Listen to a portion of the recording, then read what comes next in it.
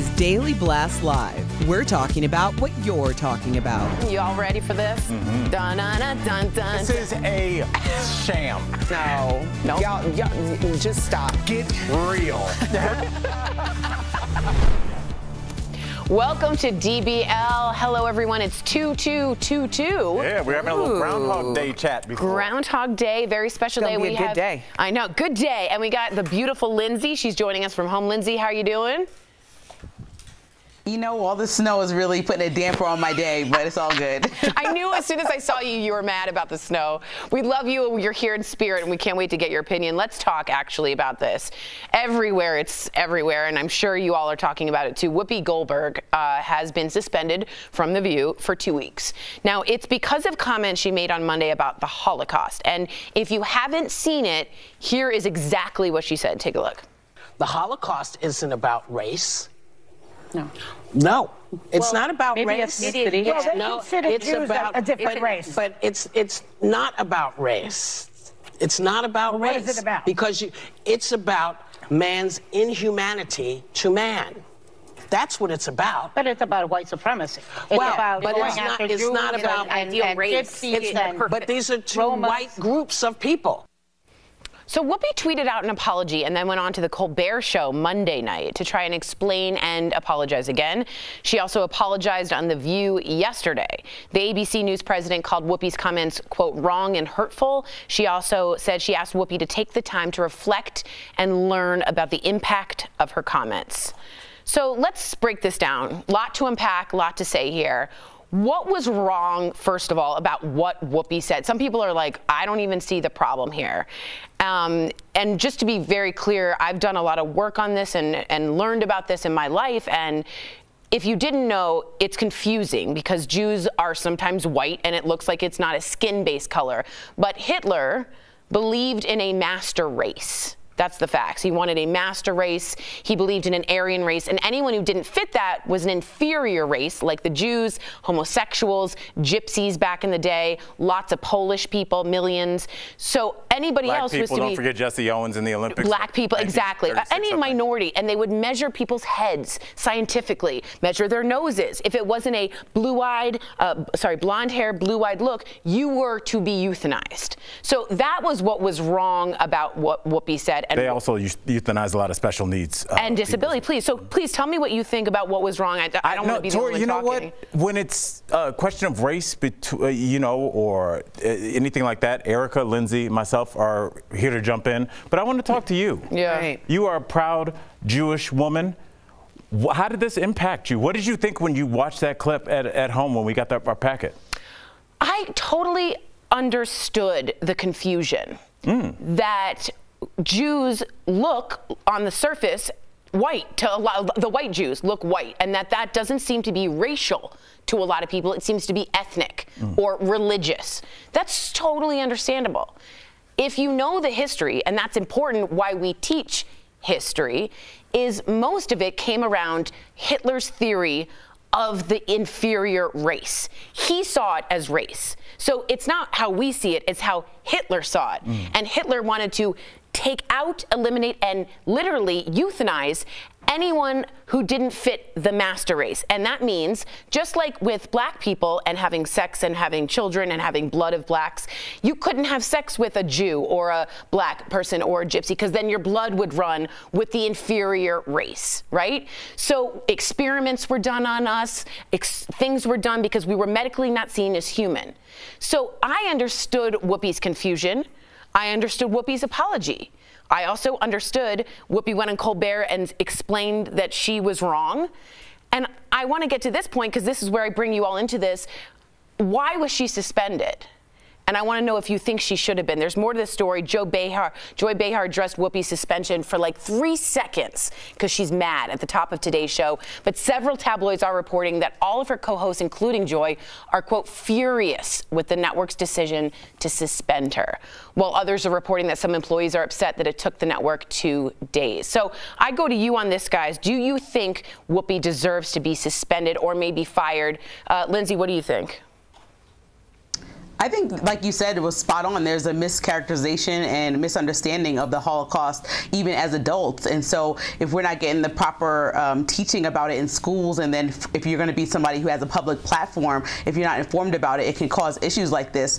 But when you think about um, all the disparaging remarks that different people have said over the years, um, the consequences have been vastly different across the board for different people. And um, when you think about what Whoopi said and how there's an anti-defamation league, which I admire um, for people that are Jewish, um, they fight strongly for anything that is against what they think, you know, what is right. And so if there's something that's disparaging that's said against a Jewish person, they're fighting and in the face of the leaders of all the companies immediately, and action is generally taken immediately. And so that's why um, a lot of the groups and coalitions that fight for causes need a group as strong as the Anti-Defamation League so that there can be change made in that instance. So I understand why um, ABC, Disney would suspend uh, Whoopi because the options after that, if they did nothing, um, would look a little ridiculous, especially when you're fighting against a group that has the means to fight long term. Erica, what do you think about her being suspended? I appreciate those comments. Yeah, I agree with uh, what Lindsay said. Um, I also think I understand.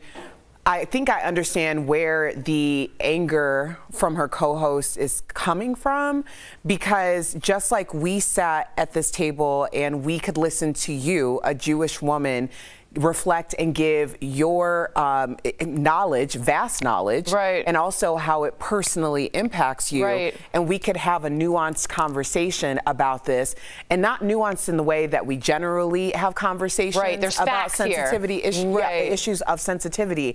Um, it's just the idea of opening it up as a teachable moment, not only for that person in the moment, but also for the viewers. Because I know for a fact that sitting here listening to you from your knowledge and experience has illuminated this entire conversation for someone, many people at home. So, was it a missed opportunity to suspend her? I think that might be a little bit of the vein that might be running through the thoughts of her co host. I think also when we're having these conversations, yes, people get canceled, suspended all the time. There generally is a portfolio, if you will, of other instances Right. that lend itself to what the nature and what the intention is behind what someone says. I say this all the time. We sit here and this is like a landmine because we are live and we are speaking in the moment and sometimes we're going to say things that the it comes out one way and that wasn't our intention as a rule of thumb for me in general I'm not going to try to, you know, break down and dissect the Holocaust. Yeah, yeah. Or something of that nature, but I can understand how that would happen. Al, what do you think? Uh, just really quickly, and I know people are, are upset about this suspension. Her co-hosts are. I think if I got suspended for two weeks, if I had made those comments, I'm sure you guys would text me and say I got your back. But I would hope you would understand that DBL damn well better suspend me because we have to set a precedent for things that are said on the show. And whatever my intentions were, my impact was not what I intended. And there have to be provisions in place for what happens when that goes down. Because when it happens to somebody I hope you guys like me if it happens to somebody that we don't like we also want those same rules in place. It cannot be a, a favorites thing. Tucker Carlson has been suspended for egregious comments and brought back and Whoopi has been suspended and she will be brought back. There are some things that you cannot leverage your way out of and you are fired and some things you can. And I think this is a situation a learning moment but Sometimes you learn with a little bit of discipline. So Yeah. I'm, okay with that. And I hope our co-hosts understand that they had a responsibility to suspend her. I appreciate that. When you have a platform, I think you're absolutely right. I just want to say we say we will never forget in, in the Jews, we will remember. And that means the details, the facts, so that this can never happen again. So that's why it's so very, very important. Coming up on DBL, our interview with sex therapist Dr. Tammy Nelson. Is it really harder to stay monogamous in this day and age? Impossible. Okay, Al, plus celebrating with no school. Do you agree with Cincinnati's decision to close down the district the day after the big game? Yes. Closed captioning provided by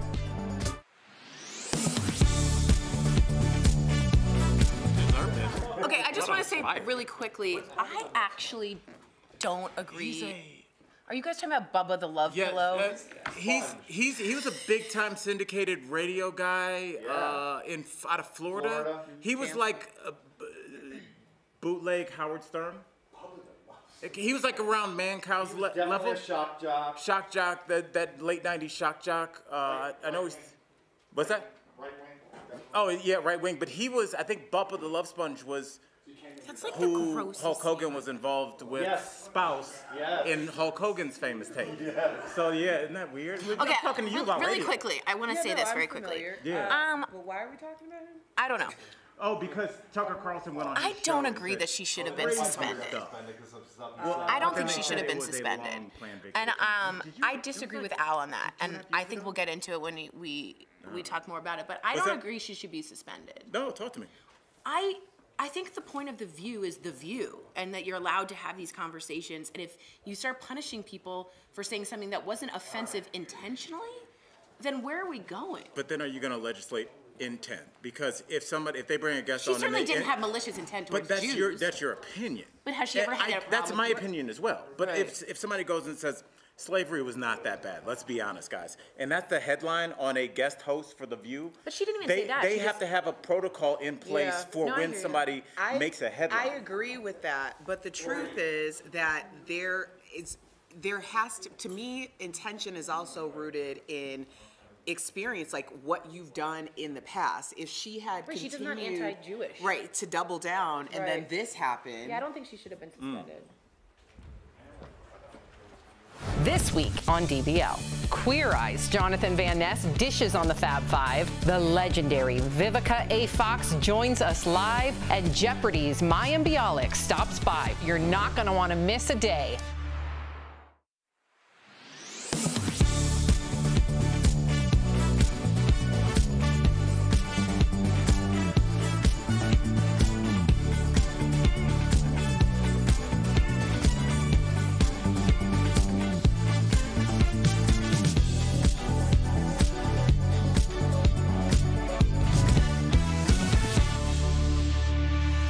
Welcome back to DBL, the Washington football team, huh? Yeah. DC. Okay, officially announced its name this morning. They're now the Washington Commanders. Ah. Huh? Okay. They also No. okay. Lindsay goes, yo. Uh, they also unveiled a new logo, some uniforms. Now the name was chosen in part to incorporate the military because of the connection to the nation's capital. Lindsay, you had some audible things to say. What do you think of the Washington? I said no, Oh, not no. I mean, and, and I know I'm like because it's attached to the military. I love that for the military, but also I think that the Commanders is just like not. It doesn't make me like. I was thinking about all the football teams. Like I grew up in New York. We had the Giants, the Jets. They all are like really quick, roll off the tongue names, Right. and then the Commanders. Like so many syllables, just too much going on. So like, many you syllables. can't have a three-syllable team. You're Let's exactly go, right. Washington Commanders. It does. You know It what? doesn't It does really feel more NCAA than it does NFL. That's a good like point. it, it just it feels like yeah there should be like a let's go commanders let's go Yeah, Know like a high, it's a high school like Division three team that's like somewhere in like Utah, but you're not sure. And they're like, oh, the Utah State Commanders. Okay, No, that works. It doesn't sound like a pro team. I actually No. kind of liked the football team. Is that weird? It grew on me after two years. Like, let it just stay that way. Right? Yeah, I kind of liked the Washington football team. It was weird. It was different. Well, I kind of dug it. I like anything was better than what they had, so we're glad that it's there. Now, kids in Cincinnati, Ohio, No, have we reasons. okay, no. have reasons to celebrate public Shout out to the 513, but Cleveland, Okay, we're different. All right. In this city, they're giving the kids the day off, the day after the Super Bowl. It's to celebrate the Bengals making it to the big game. Now, a lot of people think that Monday should just be a national holiday. I fully agree. It's been a really hard year, okay? Let us have that one day. Sorry. I love it. I love your passion. You know, it's actually a real it. thing. Like su- Super Sick Monday is like a real thing. I think even during COVID, when many people were working from home, I read a study that 11 million people still called out sick on Super Bowl Monday. so Yeah. that is like a testament to how much people really truly need the day off. And am I right? Cincinnati is not like, it's kind of like we didn't think they'd make it. No, absolutely not. They didn't think they'd make it. Good for you. well it's also uh, one of the least productive days like of the year because people are so tired and hungover. It's also a higher rate of accidents occurring, so this probably is a good idea. I would say that there's an added element to this too because it's also falling on one of the most traumatic days for Young Love because it's Super Bowl or it's Valentine's Day on Monday. Oh. So it kind of kills a lot of birds with one stone. Let's just have Bengals fans don't care about Also, Valentine's Erica, Day. please don't leave out that it's falling on your birthday this year, Super gonna Sick. Monday. It's my, it's my birthday. But it's also as a football fan, I'm from a city where we've never sniffed the Super Bowl. I don't even think we're allowed to even watch it. Cleveland. And so for Browns fans, I can understand this is a way to unite the city to link uh, a, a seventh grader with a 95 year old Browns fan. This is a way, a way for the whole city to galvanize. Cincinnati's on the come up, and I, they have a really scrappy team. It's from a scrappy, hard scrabble city. I see. I, I think you should do it. I think it's good for bonding, especially during COVID. What about morale, huh? The Bengals. Mm. Who's their best player? The, re- the uh, that the player's named John Smith. Coming He's a up good on DBL, Dr. Tammy Nelson gets real about some of the taboo topics that you're too nervous to talk about with your partner. So stay with us. Are you on Medicaid? N95 masks are considered the gold standard to protect people from COVID 19, followed closely by KN95 masks. They were in short supply in the early days of the pandemic, but today you can readily find them online. But there's a catch. The Centers for Disease Control and Prevention says 60% of KN95 masks it evaluated were fake. So let's verify. Is there a way to determine if a KN95 or N95 mask is counterfeit? Our sources are the CDC, the National Institute for Occupational Safety and Health, or NIOSH, Project N95, a nonprofit clearinghouse that helps organizations get authentic personal protective equipment, Amazon, 3M, and patent safety organization ECRI. NIOSH is the federal agency that tests and approves N95 masks in American workplaces. A mask must meet rigorous standards to earn its approval, which is indicated by a unique number stamped in the front. The agency recommends people check the NIOSH number against its website to ensure the mask is legit. The mask should also have the NIOSH logo, a lot number, brand name, and model number on the front. 3M says if an N95 doesn't have any printing on it, then it's probably not authentic. Fake KN95 masks can be harder to detect, and ECRI says counterfeiting may be even more rampant. This is because KN95 masks must meet Chinese government standards, which require less labeling. Project N95 says at minimum, KN95 masks should have a label that reads GB2626, followed by either 2019 or 2006. Admittedly, it can be hard to tell what you're buying online. Amazon, one of the most popular online mask retailers, tells Verify it confirms N95 and KN95 masks are sourced from trusted manufacturers before listing them in its store, adding it implemented a quote rigorous seller vetting and product review process to ensure compliance with applicable laws, regulation, and Amazon policies, unquote. So it's true. There is a way. Those to- taboo things you may be too nervous to bring up to your partner. Check it out. You might just call our next guest Dr. Love. Sexy, because she's a world renowned relationship expert, sex therapist, and author. Please welcome to our show Dr. Tammy Hey, Nelson. Doc, how are you? Doc, good to see you. Hi. Thank you. I like the Dr. Love thing. I do too, that's right. All right, Dr. Tammy, we all know monogamous relationships are super hard. Tell me about it. I'm just kidding. But what specifically makes them so difficult? Well, I think today we're expected to live with someone and be, you know, monogamous and attracted and excited for 20 years, 30 years, 50 years, sometimes 70 years. And there's no precedent for that. We know how to get divorced, we know how to cheat, we know how to break up, but we don't know how to stay sexy and hot. I've always kind of wondered this, but I want to hear from your experience. What do men who cheat want besides the obvious? Well, I think people who are looking for outside relationships, and look, Ashley Madison, which is the married but dating website, has 75 million members worldwide. And it's not just men, you know, half of them are women. So, what do people look for? They're looking to not so much for someone else, they're looking to be someone else. They're looking for a part of them that they can't, for whatever reason, express in the relationship they're in. And 72% of a recent survey of Ashley Madison members said that they would want to be in an open relationship if they knew how to talk about it. So people would rather be honest and open than lie. And I think that that's where really where we're going with marriage today. I could definitely see that. Well, we asked about the men. What do women want? Like I'm good. Good question, Al. Half of our audience is curious. Yeah. Well, 82% of women in open relationships say they're pretty fulfilled. I mean, they want the same thing. They want good sex, they want good uh, romance, and they want good emotional connection. We all want the same thing.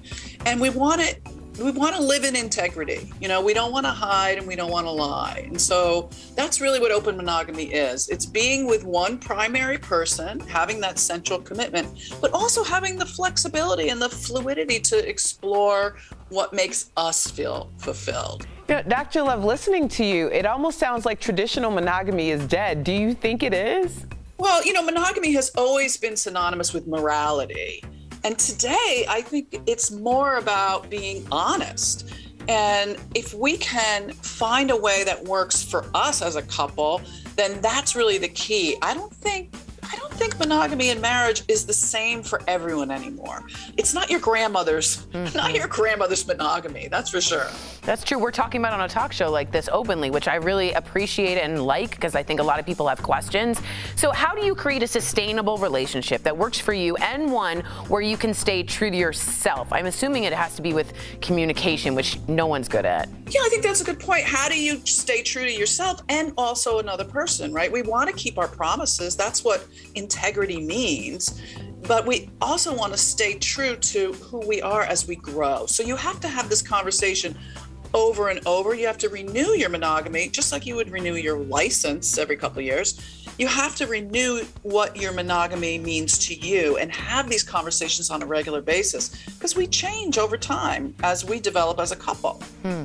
So, Dr. Tammy, I got to know about this micro cheating. What is yeah. the definition of micro cheating? What, what does that look like? well, I think you know it when you're doing it. it's like the little things that you do that you might not want your partner to know. Like if you're hiding your phone when you send a text, that might be considered micro cheating. You know, if you're not like really transparent about your social media, that might be micro cheating. Like we know when we're doing something that we don't really want to share, then that might be the beginning. It could be a slippery slope to something bigger, or it could just be those little things that um, bring us this like little thrill and maybe that's okay in a relationship and maybe it's a sign that something needs to be talked about. Mm-hmm. interesting. I love that we're opening this discussion. Thank you so much dr tammy or dr love when you're on the show. You are truly a relationship revolutionary and dbl nation. We got dr tammy's book open monogamy. It's available now wherever books are sold so if you're confused or you're questioning get this book. Thanks so much. We'll be right back. Thanks, thanks dr Doc. tammy. Thank you Promotional consideration is brought to you by N95 masks are considered the gold standard to protect people from COVID 19, followed closely by KN95 masks. They were in short supply in the early days of the pandemic, but today you can readily find them online. But there's a catch. The Centers for Disease Control and Prevention says 60% of KN95 masks it evaluated were fake. So Let's verify. Is there a way to determine if a KN95 or N95 mask is counterfeit? Our sources are the CDC, the National Institute for Occupational Safety and Health, or NIOSH, Project N95, a nonprofit clearinghouse that helps organizations get authentic personal protective equipment, Amazon, 3M, and patient safety organization ECRI. NIOSH is the federal agency that tests and approves N95 masks in American workplaces. A mask must meet rigorous standards to earn its approval, which is indicated by a unique number stamped in the front. The mask should also have the NIOSH logo, a lot number, brand name, and model number on the front. 3M says if an N95 doesn't have any printing on it, then it's probably not authentic. Fake KN95 masks can be harder to detect and ECRI says counterfeiting may be even more rampant. This is because KN95 masks must meet Chinese government standards, which require less labeling. Project N95 says at minimum, KN95 masks should have a label that reads GB2626, followed by either 2019 or 2006. Admittedly, it can be hard to tell what you're buying online.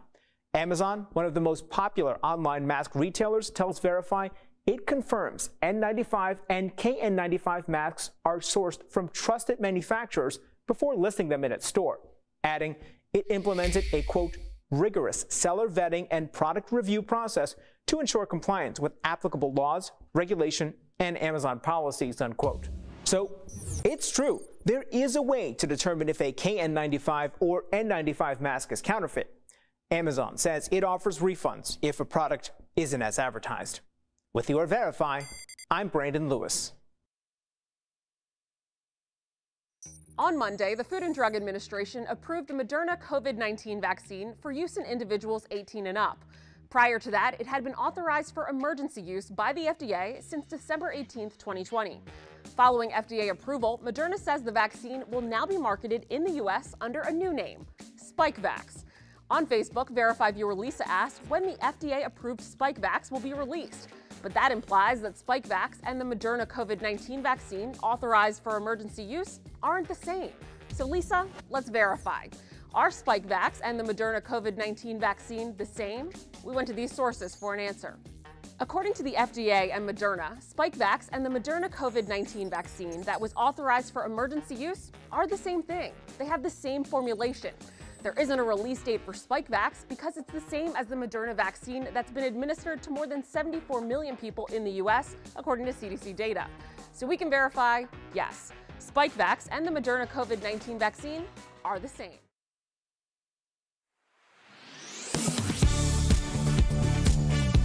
February, connect with Al, Lindsay, Erica, Jeff, and Tori.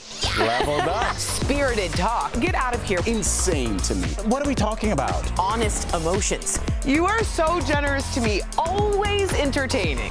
I think this is hooey. And explain to our black viewers what who he is. Real conversations are on DBL. And I like that. Very nice.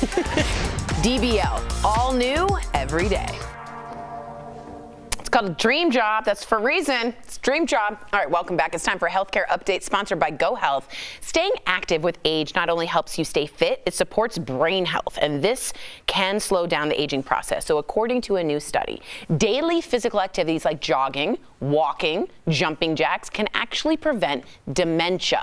Staying physically active as you age supports a special class of proteins in your brain that enhance the connections between neurons. So get moving if you want to maintain a healthy brain. I bought some ankle weights and I started walking. If you're looking for a health insurance plan, Go Health makes it super easy to enroll. Call 1-800-650-2534 or visit gohealth.com to find the plan that's right for you. Linz, are you working out? Huh? You walking? Tori, I'm still laughing about this John Smith player you made up on the Bengals He's and gonna have a Al big let that game. rock, and I'm not going to allow this. He's gonna let because it I know nothing about sports, but I'm not will going to allow never correct her. I will not. I'm just let John John Smith. Smith. He's gonna have a big game. For beat MVP, guys. All right, we'll see you Go tomorrow, same time, same place.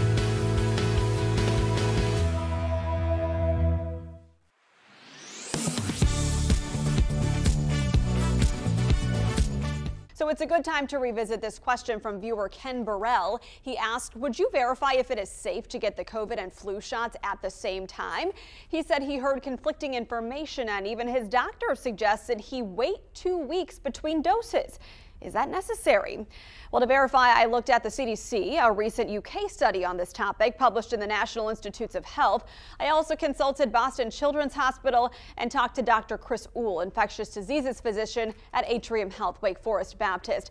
They all conclude it's perfectly fine to get the vaccines together or separately. your COVID booster in one arm and you get your flu shot in the other arm and you do it at the same time. And it really doesn't cause any more side effects together as it would separately. And it's certainly more convenient, but say you don't get them at the same time. Should you then wait two weeks between? No, you could go the next day or the next week. If you get them separately, though, you might feel temporary side effects after both shots. The UK study found taking a COVID vaccine and flu vaccine together yielded no safety concerns and did not reduce the immune response to either vaccine. Boston Children's Hospital said for children eligible to get the COVID vaccine, they too can take it it with the flu shot. Common side effects are similar to those of adults, fatigue, muscle aches, and soreness at the injection sites. So in conclusion, we verified it's not unsafe to get the COVID and flu shots at the same time. You can take the shots simultaneously or separately with no safety or effectiveness concerns.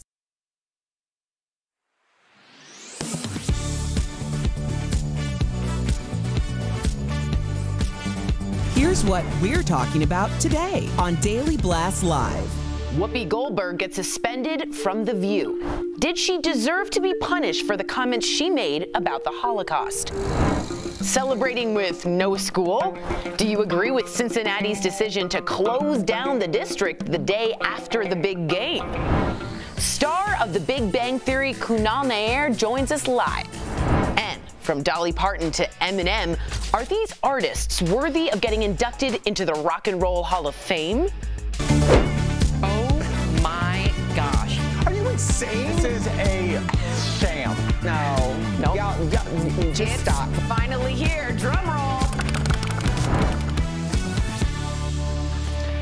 Welcome to DBL. All right, I'm already reading our viewers' comments, and everybody has an opinion about Whoopi Goldberg. So we're going to talk about it. As I'm sure you've heard, she's been suspended from The View for two weeks. It's because of comments she made on Monday about the Holocaust. And if you haven't seen it, here's what she said. The Holocaust isn't about race. No.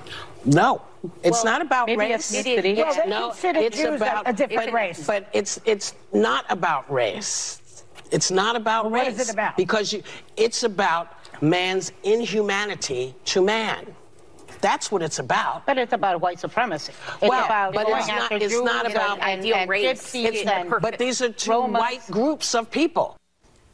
So Whoopi tweeted out an apology and went on the Colbert Show Monday night to try and explain and also apologize. And then she apologized on The View yesterday. The ABC News president called Whoopi's comments, quote, wrong and hurtful. She also said she asked Whoopi to take the time to reflect and learn about the impact of her comments. Tori, you've spoken very proudly about your Jewish heritage on this show. Yeah. In your opinion, or uh, let's not even say opinion, factually, what was wrong with what Whoopi Goldberg said? Um, because the Holocaust was in fact about a master race and an inferior race. And that's just super factual. That isn't an opinion. We can't argue with that. But I understand where it's confusing because some Jews are white. So you think, oh, is race skin color? No. Just so you all know, Hitler thought there was a master race, and he would measure people's heads to make sure they fit. They took measurements, and if you weren't part of the master race, the Aryan race, you were an inferior race and to be eliminated. So that includes the homosexuals, the Jews, the Polish, the Russians, anyone disabled, anyone mi- minority to them was to be literally wiped off the face of the earth because they were not to be taken over the world in a master race. That's a great explanation, and I'm glad you said that because I was already seeing confusion in our comments. But to that point, and now that you've clarified that, I want to talk about how there's more to the story. Okay, Joy Behar addressed Whoopi's suspension for like three seconds at the top of today's show, but several tabloids are reporting that Whoopi's co-hosts, including Joy, are furious with the network's decision to suspend her, while others are reporting that some employees are upset that it took the network two days. So let's get into the discussion that everybody's talking about. Jeff, should Whoopi Goldberg should she have been suspended for making those comments? I believe so, and I'll explain why. This is the same network that I guess he, they technically didn't fire Chris Harrison, but they sure did push him along. Is that fair? I guess. Okay. So he, they got rid of him. Okay. Whoopi Goldberg, listen, everybody loves this cancel culture that we're in when they want to cancel people they don't like. When it happens to somebody they like, they're like, whoa, whoa, whoa, they don't need to be canceled. Things have gotten too far. I like the way the network handled this. I'll tell you why. Because Whoopi said something that she shouldn't. We're on live television, we're going to say things that we shouldn't. You shouldn't lose your livelihood because of something maybe that you're you don't understand or something that you are stupid about, just to put it plain and simple. And you shouldn't lose your livelihood. You shouldn't be degraded. You shouldn't have to go somewhere. Now, can I get a job at Home Depot because I'm already labeled a racist? Can I go there and get a job, or is that on Home Depot? I'm going to get back to the conversation. Trust me. But this is I talk about this all the time. You need to set a precedent. Whoopi's going to learn about this. It's a learning moment. Tori just explained it. That's why it's a learning moment. When Whoopi comes back, she's going to talk about it at the table. When you cancel somebody and you push them away, you push them into a group of people perhaps that they don't necessarily want to belong to, but that's the only people that'll listen to them. At that point. And that's what we're doing in society. We're pushing people in and like, well, I guess I don't belong here. I guess I'm going to go with these people. And then you start thinking these crazy things. We need to learn from moments. We need to have these teachable moments. And that's what I think Whoopi is. So you I think, suspension, not being fired? Yeah, I think what they, yes, absolutely. Because what happened with Chris Harrison, I didn't agree with. I really didn't. What they did at Jeopardy, letting social media make their decision, I didn't agree with. Well, the employee spoke out on the Jeopardy situation. I think we need to be clear about that. The whole culture at Jeopardy said we don't want him here anymore. So that's a little different. A little different. I don't agree with what the producers did anyway. I like what the producers did in this sense. I'm just going to leave it at that. What do you think, Erica? Well, I can understand um, if it's true that her co-hosts are upset about it. Um, I would imagine, and this is just me speculating, that the reason why is because they lost the ability to do what we're doing right now in this moment, and they lost that ability when it is directly about them and affecting them and their team. Because Tori very plainly explained, and I wish we could have gone a little bit more into it because I think this right now is a teachable moment, Right. especially when we talk about race in America, because race in America is a very aesthetic conversation. Mhm. It's about what you look like versus what you don't. That's how we clarify and categorize. Um, you know, when you are having conversations, and we say this like all the time, where it's like, you know, if you want to argue the Holocaust, just don't. Right. Um, but I, when you said that you understood why she was confused on it, and I think it also has to speak to, much to Jeff's point, if there isn't a clear example as to a pattern of behavior or the intentions of one's uh, what someone says especially on live TV I call this an occupational hazard. Like I feel like every day I come to work and I am walking around a land like on landmines because you in the moment can absolutely say something and not have the intention behind that it's portrayed or heard by other people. And there's going to have to be a level of grace for people to really openly and transparently say what's on their hearts and minds. If I said something and it was the only time that I've ever said something to the effect that people took it, like I wasn't on Facebook posting these anti or hateful things, or, you know, I don't have this um, in my heart, then I would expect that someone would give me some grace to say, I am so, sorry. So you don't think she should have been suspended? I believe, just speculating, that she was in on whatever the decision was made for her. Interesting. Tori. I strongly don't think she should have been suspended. and I'll tell you why. Mostly because of what you said, but also because of the word intent. I don't think Whoopi maliciously was trying to tell us that it wasn't a race war and we're being silly. I think she clearly didn't know. And had it been a moment where we had just had what we just had, the whole audience and everybody would have been elevated. Now, you shut her up, you get her out of there. She's already apologized. I believe her. She doesn't have anti Semitism in her history.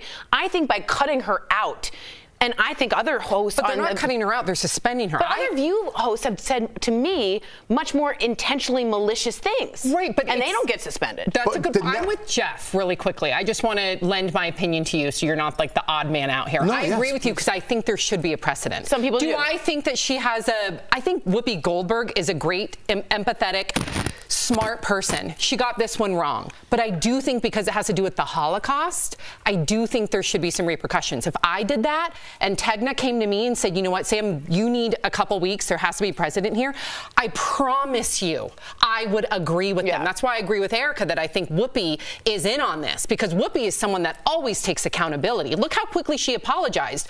Kudos to her. But um, I agree with you, Jeff. The There network's got to show they're in charge, right? This again, the same network that pushed Chris Harrison out. Was there a room to grow there? I think so. Did But he didn't apologize right he did apologize. He went on GMA and He kinda apologized. I don't want to. I don't. Again, I don't want this to think that I'm sticking up for racism No, and what he did I know. because that's where it's going to go. But I'm talking network in the business a little bit now. They got to show their hand. But they the can't just show- let her. I agree They can't just let her slide when they fire other people for virtually the same thing. I agree, but it's called The View. Listen, I don't gave think she her should be suspended either. And it was when it wrong. comes to the and she said, I'm sorry. And then she went on a tour to apologize. So I don't think the suspension was necessary. A lot of my Jewish Going on brothers late and night show isn't a tour, by the way. Okay, I think a lot of my brothers and sisters who are Jewish would feel the opposite of me and absolutely think there should be a precedent set, including my father. I disagree. I think it should have been a teachable moment. But the network's got to handle it, not social media. We're going to talk about this during the break because clearly we have more to say. Go to YouTube. We'll be right back. Closed captioning provided by Thursday, live on DBL from Queer Eyes Fab 5, Jonathan Van Ness. Vivica A. Fox will also be here live. That's Thursday on DBL. Um, Lulu says also a Jew says she shouldn't have been canceled, including myself. We need to listen to the people that are subject to the conversation. She's not being canceled. I agree. the I agree. repercussion. I, would want that repercussion if I. I think there's a difference between an opinion on a an opinion-based talk show, but you said it very clearly. This isn't an opinion. These are facts. But we've made factual incorrections, right? And we've corrected them online. Uh, correct, right the there. I agree with you. And my father said the same thing. I talked to my dad about it because he's a different generation Jew, closer to the Holocaust. It's more touchy. And I said, How do you think if I think she shouldn't be suspended? He clearly said ABC had to make a stand. They had to. And it went to Disney. And Disney is very pro Israel, very right wing. They had to make a stand. However, I think it could have been a very. Oh, so sorry. I thought I thought it could have been a teachable moment. That's all. Go ahead. So for the next segment, we don't have a ton of time. Okay. So that when we do the Washington Commanders, let why don't you just say something like, "All right, I just want your a quick." Few word reaction on that, and Okay, you can be quick like, "I hate reaction. it. Three syllables, Okay, too many. Sounds okay. like an NCAA Great, team." great. Great, and then we move Okay, on to the. and I don't I also think Whoopi was in on it. I think Whoopi was in on it too, and But I knew do- what happened. I do want to say because I love Whoopi Goldberg, and there, into my, in my opinion, I mean, luckily with Whoopi, we have like a 40-year career to look back on. She's always, in my opinion, been empathetic, knowledgeable, done the right thing. Um, I don't think this is going to affect Whoopi. I think in the long run, when Whoopi comes back and she owns it, like we all know she will, or at least I believe she will, I think people will see that's how you do it. But I think if Jeff and I had a discussion about the Holocaust and something factually was made and someone came in and, or it wasn't just Jeff, anyone, and we came and corrected it, I would be heard as a co-host if my co-host was suspended for getting it wrong and correcting wouldn't themselves. mind if I was suspended. I know. I I know really she wouldn't. wouldn't. I'd rather be suspended than fired and canceled. Yeah.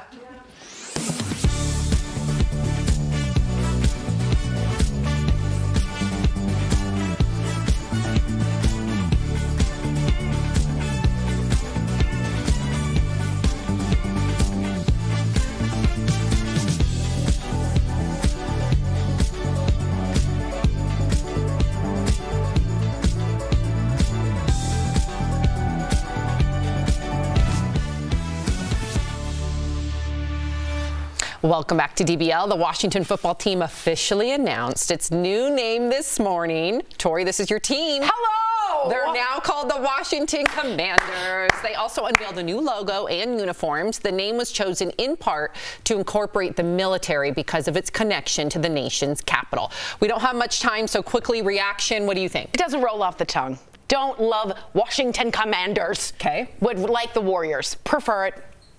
Uh, This is what they came up with after two years. Great job. So you're not into it? No. It sounds a little more like NCAA than NFL. It's like Totally. we are the commanders. we are the best. Okay. Division Division three. Division three. yeah. Do you like it? Do you like it? I don't care. Okay. I don't watch football. I would love to lend an opinion, but it doesn't matter to me. So go Commanders. Yeah. Go Commanders. All right, so kids in Cincinnati have reason to celebrate because public schools in the city, speaking of football, are giving the day off the day after the Super Bowl. It's to celebrate the Bengals making it to the big game. A lot of people think that Monday should be a national holiday. What do you guys think? Okay, look at look at Jeff. Of course, I've been saying this forever. If I were running for president, I'm not even joking. They Oh should put this on their not campaign. Right, list. Like, I am going to give the United States off on Monday. I would vote for that person. I'm not even joking because I don't know anything about politics. That would be my point And of I'm view. aware of that, and I would not vote for you, but I would think about it because of your stance on this. Guess what? I don't appreciate the pointing in my face. You know what? I won't do it anymore. I apologize. Do you accept my apology? Yes. Okay. I just have to say, I don't like. We've had a hard year, a couple of years. Cincinnati wasn't ever supposed to do this. It's like Major League doing it. The Bengals, give them the day off. Let us have the moment to celebrate and have morale for a What do the city. kids care? What do- because the parents are hungover. They don't want to be in line and carpool. Ay, the light. So you agree with me? Yes, I'm saying. What was the harsh reaction? I wouldn't agree with anything politically other than this on your stance. What if they lose? So you'd vote for me? What if they lose? Who cares? Well, Then you, need a day of mourning. That's it. Yeah. That's I mean, the productivity is so low on the Monday after Super Bowl. Plus, I think this also works in the favor for the young hearts because, you know, Valentine's Day is that Monday. And your birthday. And your birthday. Well, and my birthday, another national holiday. Thank you. Uh, yeah, so you know that's kind of a traumatic day for a lot of young Mm-hmm. people. So they get to skip Valentine's Day, Mm-hmm. but you know that girl with the boyfriend who decorates a locker is so mad. Yeah, did you guys? She is mad. Did you guys have someone that would come in and give out flowers? Yeah, and some people didn't get Me the neither. flowers. I didn't like that. Okay. I bet you always gave out flowers. No, we had those little like things that you rip and you everyone gets one. You Every like- card. Yeah, just a card. I didn't get one. Yeah, I didn't get one. There was a person that came in was like, Joe got you a flower. Sonia got you a flower. when you're in fifth grade? Yeah. High school. Yeah. Coming up on DBL from the Big What high school did you Bang go to? Theory, Kunal Nayyar there. Joins us live. There he is. We can't wait to talk with him coming up next. Are you on medic? Often say representing their country at the Olympics is the highlight of their careers. Millions of Americans are watching and cheering them on from home. One verified viewer texted us to ask, do athletes get paid to go to the Olympics? So let's verify. Our sources are Team USA, USA Swimming, USA Wrestling, and the International Olympic Committee. The IOC oversees the Olympic Games and says there's no salary requirement for athletes. Instead, it's up to each nation's Olympic Committee to decide whether to compensate athletes. Team USA doesn't directly pay its athletes. Instead, some sports governing bodies like USA Swimming use registration fees to give top tier athletes a monthly stipend. USA Wrestling has a Living the Dream medal fund to help athletes get by. Other sports get corporate sponsors and use the proceeds to cover some of an athlete's expenses. But it's false that athletes get paid to go to the Olympics. In fact, some give up regular income to go. A Team USA survey found more than half of elite American athletes earn less than $25,000 a year, with a quarter of them relying on non sport related income. The good news is if athletes do well at the Games, then they'll receive a bonus of up to $37,500 for each medal. With your Verify, I'm Brandon Lewis. This February, connect with Al, Tori, Erica, Jeff, and Sam. Leveled up. I'm here for it. Spirited talk. There needs to be consequences. I promise you, I don't care. Honest emotions. You are so generous to me. Always entertaining. I might be too jacked for TV. Real conversations are on DBL. I like that. Very nice. DBL, all new every day.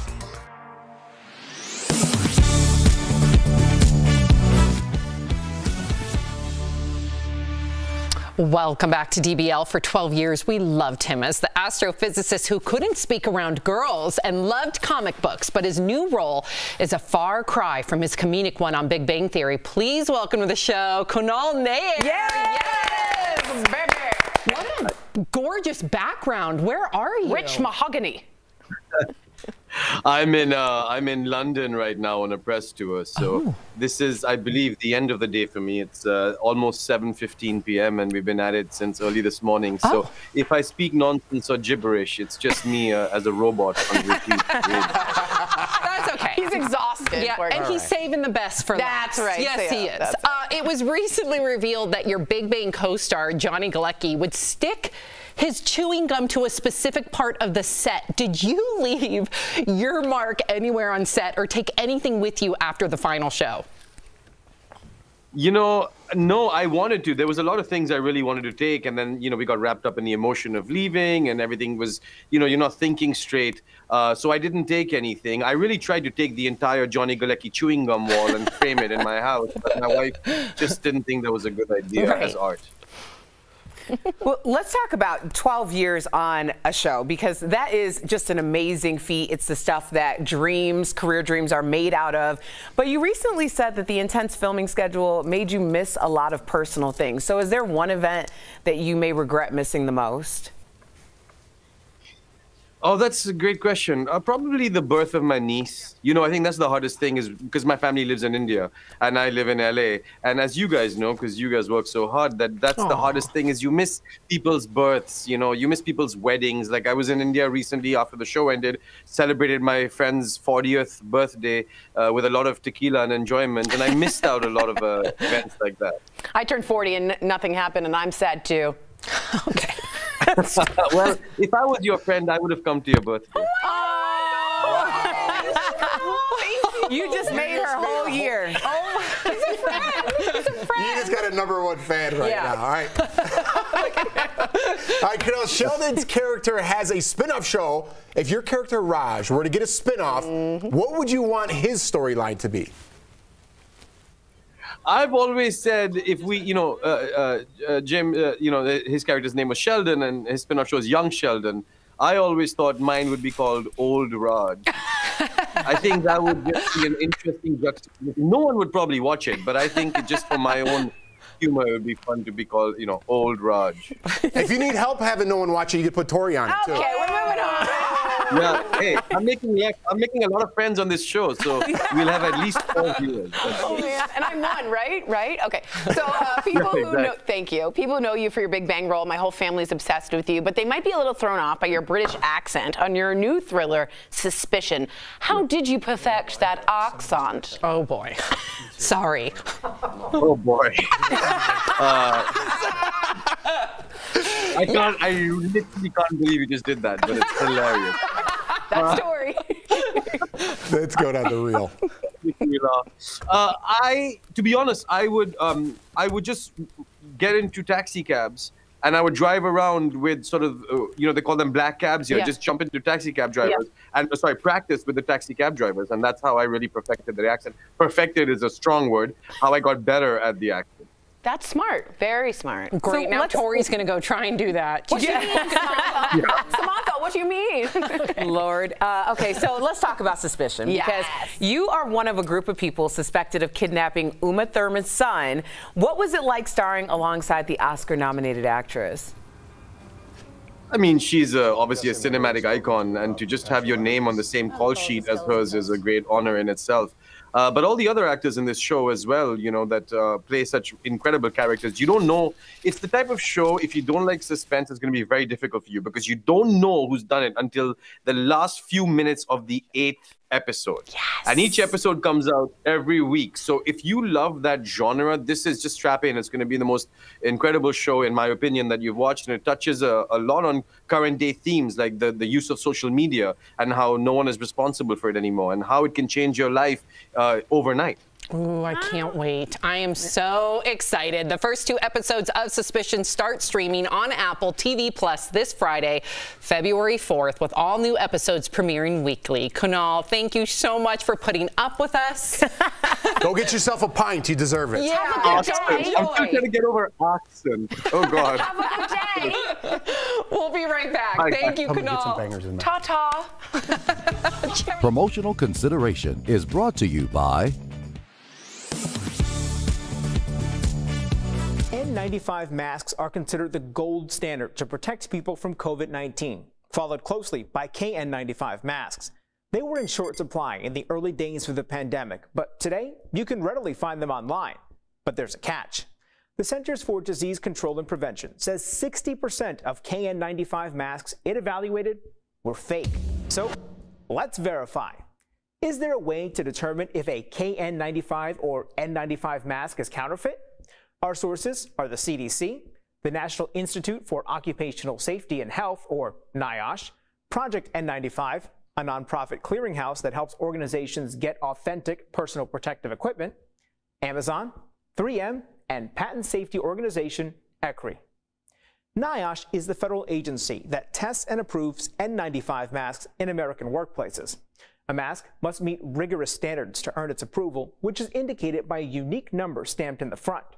The mask should also have the NIOSH logo, a lot number, brand name, and model number on the front. 3M says if an N95 doesn't have any printing on it, then it's probably not authentic.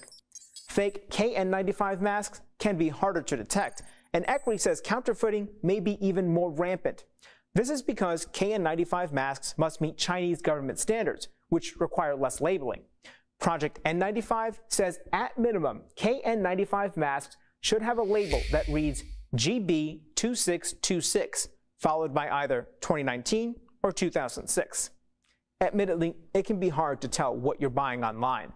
Amazon, one of the most popular online mask retailers, tells Verify It confirms N95 and KN95 masks are sourced from trusted manufacturers before listing them in its store, adding it implemented a quote rigorous seller vetting and product review process to ensure compliance with applicable laws, regulation, and Amazon policies, unquote. So it's true. There is a way to determine if a KN95 or N95 mask is counterfeit. Amazon says it offers refunds if a product isn't as advertised.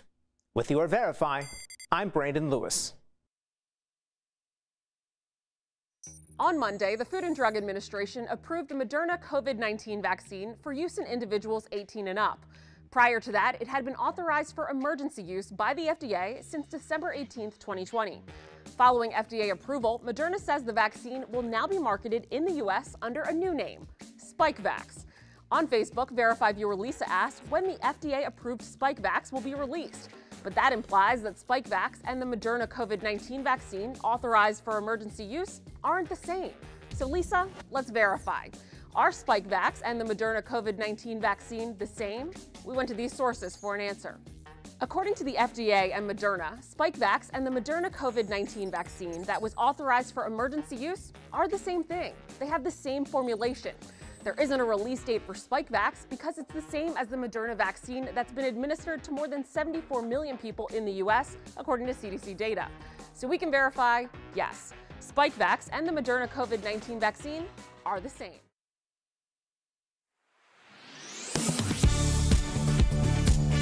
This February, connect with Al, Tori, Erica, Jeff, and Sam. Leveled up. I'm here for it. Spirited talk. There needs to be consequences. I promise you, I don't care. I mean, Honest emotions. You are so generous to me. Always entertaining. I might be too jacked for TV. Oh. Real conversations are on DBL. I like that. Very nice. DBL, all new every day. Ooh, you do not want to miss a single day of February. Okay, Tori, we actually have a comment for you okay. in regard to the Whoopi Goldberg conversation. This is coming from Mary White. She says, Tori is such a hypocrite. I have seen her blast conservatives for making comments similar to what Whoopi said, and Tori called them racist or anti-Semitic. Now, I read you this comment because you're you're great at uh, having open debate. Totally, and I appreciate that feedback, and I would understand such a tense topic would bring this out. I think the difference there is just the word intent. I don't think that she was anti-Semitic in her intent when she said it. She was factually incorrect. I do think some people who do say things that are anti-Semitic are malicious about it, and there's the separation. So if there was someone else, uh, let's say that was on the, Meghan McCain had said that on The View, would you have thought differently? I would have worried about her intent, maybe. Okay. Interesting. If you're, thank you for for answering. Of course, and thanks for the feedback. You can watch the second half of the show online, but if you're sticking around, here is what's coming up. Does Dolly Parton deserve to be in the Rock and Roll Hall of Fame? We're talking about this year's nominees. Plus, David Letterman revisits the late night show set, how he's celebrating 40 years since his show's premiere.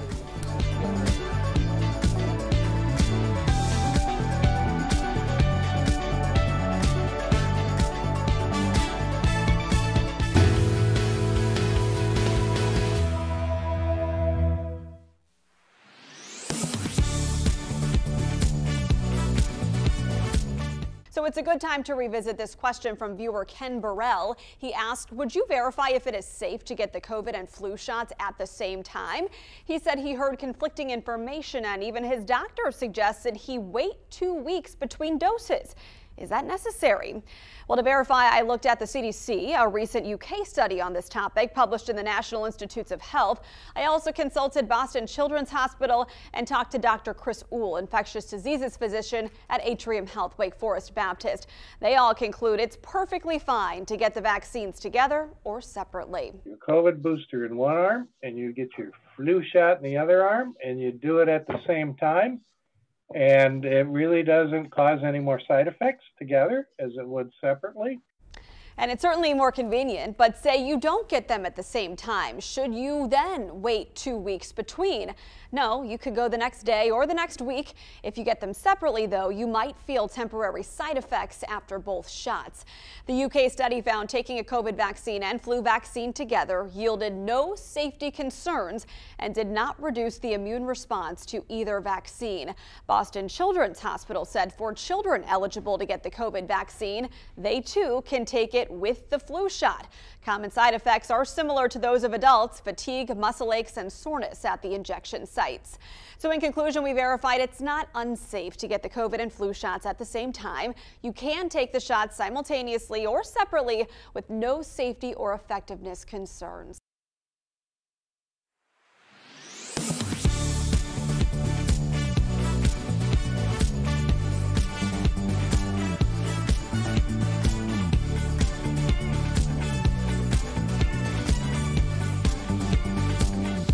This is Daily Blast Live. We're talking about what you're talking about. Oh my gosh. Are you insane? This is a sham. No. No. Y'all, y'all, just it's stop. finally here. Drum roll. Her name is Rio and she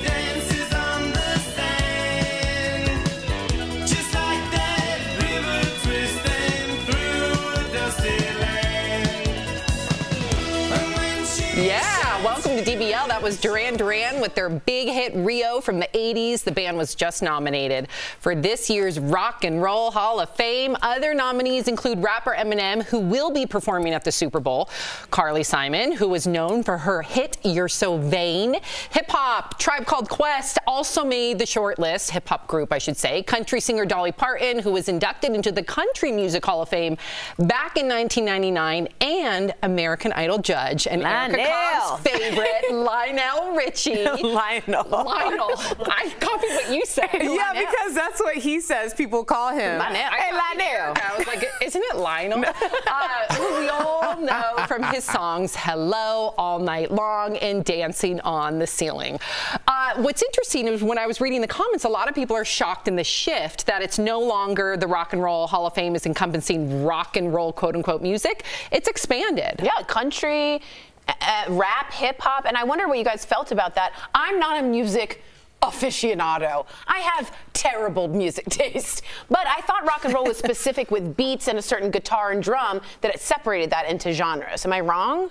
I think there's just how many rock and roll bands are there? I think you just have to put Yeah. the Music Hall of Fame at this point, and maybe take out the rock and roll, and then, then it encompasses everybody, right? And then we could go on and on. Who uh, surprised you the most that they weren't on this list? Lionel. Yeah, for real. I was like, how is Lionel Richie That's not in the Rock and Roll Hall of Fame? know. But Duran Duran too. Like I, I'm an, a Duran Duran aficionado. Whoa. Oh my yes. gosh, Erica. I, I'm not really, but uh, we did this event when I was in radio, and they opened this event, so I like hung out with Duran Stop Duran. it. all Stop it right now. Tell me everything. Were they nice? Was it fun? Super nice. Yeah, Simon Le Bon was like really awesome, and there was this group of like super fans. They came with like their teen bop from like way back in the day, Oh, wow. and they were all excited. And I was like, oh well, we should just meet him. Like, I didn't even. I was just like, yeah, like you should meet Simon Le Bon. Like it's no big deal. So then, so I got these ladies. Shout out to them, the biggest Duran Duran fans. Yeah, and he was like, "Yeah, I'll meet them." So I introduced them, and I was like, they they were like, "It's the biggest deal ever," and I'm like, "Cool, I'm just glad you're happy." Erica, making That's how dreams happened. come true. I like that. I know. Okay, so guess who made a return to late night? David Letterman. He went on his old show, currently hosted by Seth Meyers, to celebrate late night's 40th anniversary. Dave said he wasn't sure the show would be a success after his NBC morning show was canceled. Watch. We had a show, a lot of us had a show that we thought was just great, and it was on for 90 minutes live, like 9 to 10:30 on on NBC, and it replaced two or three uh, game shows, and it it turned out uh, America didn't want them replaced. Cer- certainly didn't want them replaced by me. Uh, Letterman also recently launched a YouTube page featuring old clips of his show, including fan favorites like stupid pet tricks. Remember when he had people do an elevator race up and down Rockefeller Center? Do you guys remember that? The elevator race? and his hilarious stint as a Taco Bell drive through employee. Did you guys grow up watching him? I grew up watching him with my parents.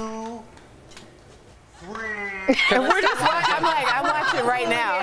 How do you think Jeff late night has changed over the last 40 years? I don't, you know, he was like the originator with all these like little bits that are doing. I, I think of uh, Johnny Carson. Jo- yeah, but Johnny Carson didn't do all the bits. He did sketches, but you're right. I know what you mean. More of a, you have to make everything an argument, Tori, with me.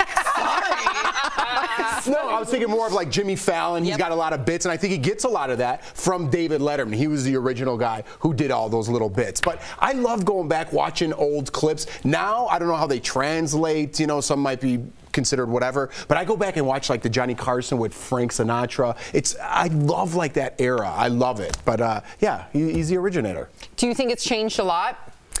Do you I- prefer it before or now? See, I'm not really that familiar with late night because when I was growing up, our house kind of shut down at 8:30 at night, my parents included. Um, I would remember staying up late on like a Friday to catch Arsenio, and I. Oh yeah, yep. You know, but that was like in a secret. that was a secret, so I can't That even doesn't tell you. I translate don't even. no, it doesn't. no. Uh, really quickly, I'm just curious. Do you prefer old late night or the current late night? I think c- current late night is very poli- political, and old late night was more like top 10 dumb things. So sometimes I kind of like the old, let's just shut it all off. A nice escape. Yeah. Mm-hmm. I think you're wrong, Tori. Let's see if you guys can argue about this next story. I'm Ashton sure. Kutcher caught his wife Mila Kunis cheating on the last day of dry January. Take a look. It's still dry January, and Mila and I have been doing dry January. And I think she's breaking dry January right now. It's still dry January? Nope. Yeah, no, it's January no, I work off of the lunar calendar. So it's wet February for me right now. I love him. um, Jeff, you've done dry January before. Did you do it this past month? I did. I'm So- still on it. Oh, I you still are? haven't drank since last year. Yeah. So when are you gonna? When are you gonna? So if I fall class off the again? wagon or on the wagon, I never know. I don't I know. believe. So if I fall off, it might Yeah. be Friday. It might be Friday. But I don't know. I like it. I like the way I feel. I dropped 12 pounds. I've been working out every day. I got back into yoga. 12 I'm pounds in- writing. in one month? Yeah, I'm just bloated. And what are you writing? Wait, I'm what are you writing, I'm, writing? I'm, I'm writing all the, I'm, like a, a lot of my goals, you know, that I want to write You're sketches and things like that. So I've been doing, I got projects for my uh, garage, Giardiniera. I've been crunching the numbers. I've been doing, I've been, it's like George when he stops having sex on Seinfeld. I'm like a genius all of a sudden. so and then. Friday I'm gonna have a beer and be like, I know. "Whoa, whoa, whoa, whoa." I'm just all stupid. Tori, what about you? Um, I've gone dry for the past two weeks, and really to lose weight. Um, because I felt like I was getting the, the Mitch McConnell, like, I mean, no harm, but the thing, you know? I'm sorry. Nothing- That's the. Sorry. Nothing against Mitch. McConnell, of course. I'm just saying it's a real thing. So I stopped, and I also lost a little up here. You did? Yeah, and I also feel a little bit more present. So I'm gonna try and and, um, and I X off on my calendar um, when I don't drink, so I can see it. I think that's been really helpful. So way to go! I think it's great to take 30 days off of something. Do you do any any like long cleanse, whether it's alcohol or maybe it's something else? No, I don't believe in it. Yeah, I don't do that either. yeah, me But neither. you guys are better at moderation. yeah, I'm better than, at we- than I moderation. am. I Mm, guess, right? Sometimes. I like, I like to deprive myself of something. Yeah, you do. You're a I do. masochist. Yeah. You're a masochist. In sure. some sort of way, there's You a like that. gratification for challenging myself. like I'm not going to eat meat for this long or do so. I like that. What's Is that next? weird? No, I don't think it's Oh. weird. I just think that sometimes that's like reason season types thing. Cause like I did that for years, like eight months. I restricted everything So now in you my don't do life. it. Yeah. So Well, now when you were doing um, fitness, com- competition. Yeah. So now it's kind of a trigger for me. So I never just quit cold turkey anything because I can't handle it. Right. Can't wait to see what happens Friday. Can I hang out with you on Friday? no. No, you know what? It's snowy here, and then my wife has like some friends she's going out with on Saturday, so I'm going to be home with the kids. So I might just wait till like the Super Bowl, but then we got to go to work the He next day. He completely disregarded what you said. What'd you say? I said, could we hang out on Friday? And you said, Of course not. Okay.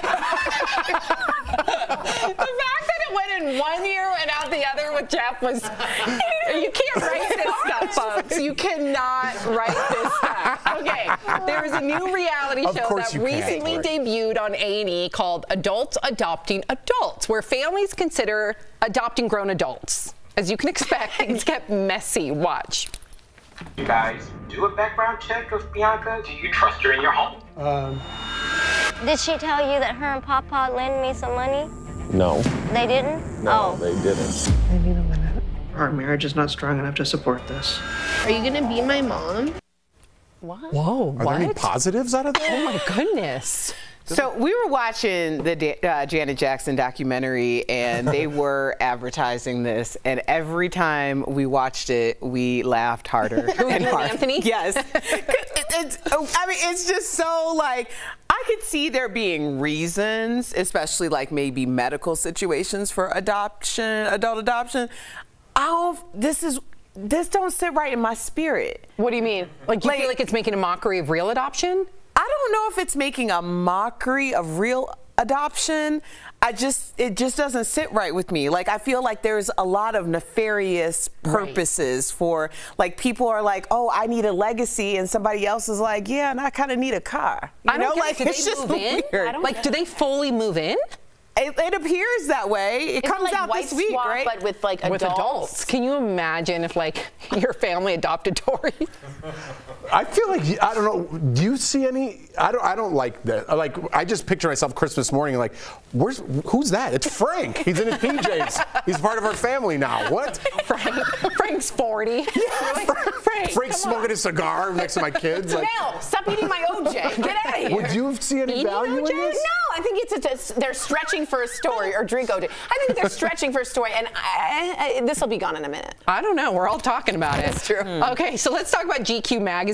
Uh, they have they has listed some of the hot new fashion trends for men this year, and a lot of it looks like stuff you'd find in closets from the 70s.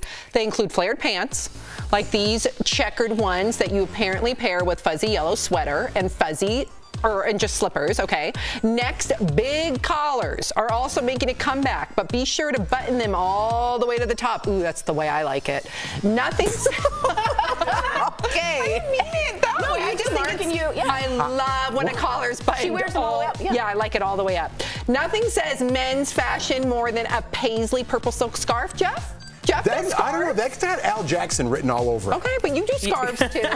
Not the silky ones. no, you do like like uh, Winter. woven ones. Like you're a sailor in Ireland on the sea. I do like that look. Yeah, yeah. Yeah. And to complement that look, you've got to have a velvet jacket. And this one is Do you a see those pants, by the way? Yeah. I'm into those. I'm into The the, fit- like yeah. the 50s look. It looks like Z Cavaricci's. Remember those? Yeah. Z Cavaricci's. And Do this one is remember? a bit of a wild card. Uh, balaclavas, if I said that right, are not just for bank robbers. Uh, you can wear them in the winter with style. I think this came from Kim and Kanye with the mask. Oh yeah. And I think it just trickled into culture. I don't know. I think this comes from the ski slopes and boarding. That's what you put underneath your helmet. Or bank robbers. Yeah. it could come from all those. Yeah. Do you what do you, what do we like here? The velvet jacket I really like. Okay. More fit. I like those pants. Yeah, I'm a big fan of the structured velvet jacket. I think that is that is classic. You can th- I can also think of all the iterations of it mm-hmm. throughout the years, and it's just it's just something. I Like, don't dig the ah. pants. Sorry, Jeff. Listen, so- Those are like grandpa pants, and I usually like. a But see, I grandpa- like, so I like grandpa I don't like sweater. it. so if you mm-hmm. had that with like a 50s, you know those button up that are knit. Like James Dean looking. Yeah, you know I mm-hmm. like that old look. I like a grandpa sweater. look. I'm not feeling the pant. I always like the I collar actually just bought a up. pair of pants like that. No, you did not. I'm going to show you at Are you break. gonna, you're gonna wear them here? No, they're- because they're I can't wear those. Maybe Are you gonna go all in and do like like, Like a the roll-up greaser I brought t-shirt I bought some and uh, knit cigarettes shirt. in there? Yeah, yeah. I'm gonna lean against a car while everyone looks at me. Hey, hey. Coming up on DBL, All right. the great debate over pizza. Which toppings do people hate the most? Of course, we're going to debate about it. Coming up next. Closed captioning provided by Thursday, live on DBL from Queer Eyes Fab 5, Jonathan Van Ness. Vivica A. Fox will also be here live. That's Thursday on DBL.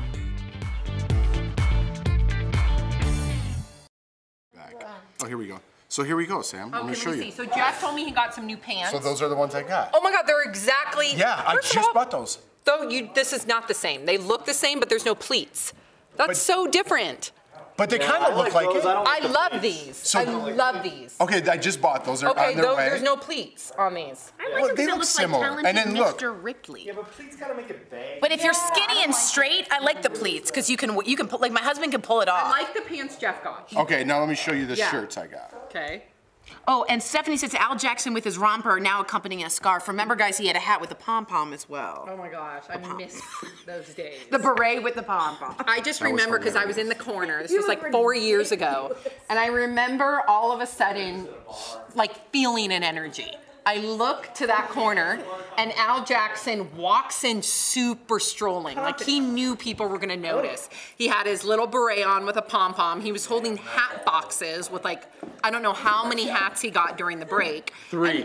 Oh my God. And I he just there. strolled in super like, look at me. And I loved every moment of it. It was like a diva moment for sure. All right, now Al will tell you the same, so I'm not. So every hat that you buy, you get like a little thing of whiskey.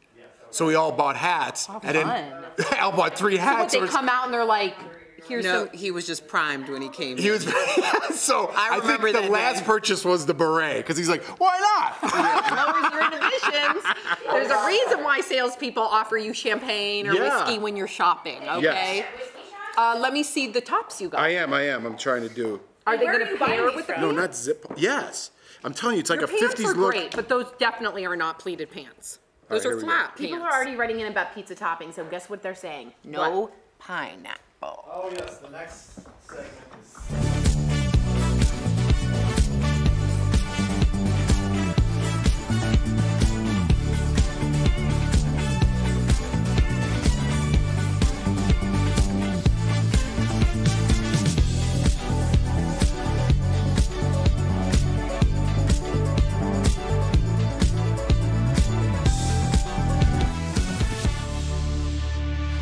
Welcome back. Shall we have a conversation about pizza? We shall. Yeah. Got some backstage. Ooh, a new poll has revealed the three toppings that Americans hate the most. And spoiler alert, pineapple is no longer the reigning loser. In third place, are we ready? Tori Drumwall. Yep. Mm-hmm. Jalapeno peppers. Huh. Okay. Pineapples took second place. And for the least desirable pizza topping of all time, get it, Tori. The winner of the losers. Ew, anchovies for sure. Yuck. what any of you do you, any of you like? Oh, I still got to read. Okay, sorry. The survey also revealed that for unlimited free pizza, people would let someone spoil every movie they saw, shave off all their body hair, or text an ex. Hmm. What would you guys do for unlimited free pizza? At text, I mean, all of it. You would shave all your hair. For unlimited pizza? Yeah. Yeah. What? For the rest of my life? Okay, I'm gonna test Jeff on this. If there's any pizza companies out there that want to sponsor Jeff and offer him pizza for for you to shave off all your hair, that includes your eyebrows. That's a tough one. And I you gotta check always with my wife. make fun of my no eyebrows, so jokes on you. Well, it's not yet. What was that, Courtney? You want to get sick of all that pizza coming from Courtney? I just, I'm more into the free for life type of thing. Okay. You know? Yeah. What about you, Erica? No, yeah, I'd rather just work and, And pay what, for what's, it. what's the least desirable topping to you? Um, I don't. I guess. Well, anchovies seems a little like you know just strange to put on a pizza, but I always have the same go-to pizza order no What is matter what. Oh, you got to do. Uh, pepperoni, mushroom, and black olive, and then you want to put giardiniera on top of it. Okay, Chicago is. Yes. What about you, Tori? Um, I don't get when someone orders a pizza and then gets tomato on the pizza because the sauce is tomato. Huh? Thank you, Seinfeld. I don't, I don't understand that. Like, why are you getting cherry tomatoes on a pizza that's made out of tomato sauce? Because sometimes if you get like, I know what you're saying, like a caprese, but on a pizza. yeah, I don't need that. So you I don't get- need the tomatoes. So you get the basil, the mozzarella, and a slice of tomato. Yeah, yeah. That's how like a caprese comes. So they're just putting that on a salad. All right. Well, I, on a I, I like all veggies and I like olives, and that's a big uh, thing. Olives and pineapple. That's a big. People get really angry about that. You guys have ever have a good pineapple pizza? No. I'm not a big pineapple If pizza you get like, a good, I know you don't like ham, but a good piece of ham with pineapple and spice, like red pepper, like a good Complimentary? They complement one another? Oh, yeah. Sweet, I was like, for It's free? free? That's what I was like, it's even better when it's free. Okay, here's the question really quickly from you two Chicagoans, and I want you to be honest. Chicago pizza or New York pizza? Chicago. It's too much. I want to be with you here. Deep dish over. Listen, New York is better. Yeah. It is. I It think- is, Erica. Oh, no, it's by too way. much. Listen. Back. I love you, Erica. it's too meat, too much. It's too much. It's a meat pie. I want to fold it and eat it. I. Erica. Where are you? We can get through You know you're so wrong for this, Jeff. You know you're so wrong. we can work so wrong. We all know that movement. Often say representing their country at the Olympics is the highlight of their careers. Millions of Americans are watching and cheering them on from home. One verified viewer texted us to ask, do athletes get paid to go to the Olympics? So let's verify. Our sources are Team USA, USA Swimming, USA Wrestling, and the International Olympic Committee. The IOC oversees the Olympic Games and says there's no salary requirement for athletes. Instead, it's up to each nation's Olympic Committee to decide whether to compensate athletes. Team USA doesn't directly pay its athletes. Instead, some sports governing bodies like USA Swimming use registration fees to give top tier athletes a monthly stipend. USA Wrestling has a Living the Dream medal fund to help athletes get by. Other sports get corporate sponsors and use the proceeds to cover some of an athlete's expenses. But it's false that athletes get paid to go to the Olympics. In fact, some give up regular income to go. A Team USA survey found more than half of elite American athletes earn less than $25,000 a year, with a quarter of them relying on non sport related income. The good news is if athletes do well at the Games, then they'll receive a bonus of up to $37,500 for each medal. With your Verify, I'm Brandon Lewis. This February, connect with Al, Tori, Erica, Jeff, and Sam. Leveled up. I'm here for it. Spirited talk. There needs to be consequences. I promise you, I don't care. mean- Honest emotions. You are so generous to me. Always entertaining. I might be too jacked for TV. Real conversations are on DBL. I like that. Very nice. DBL, all new every day.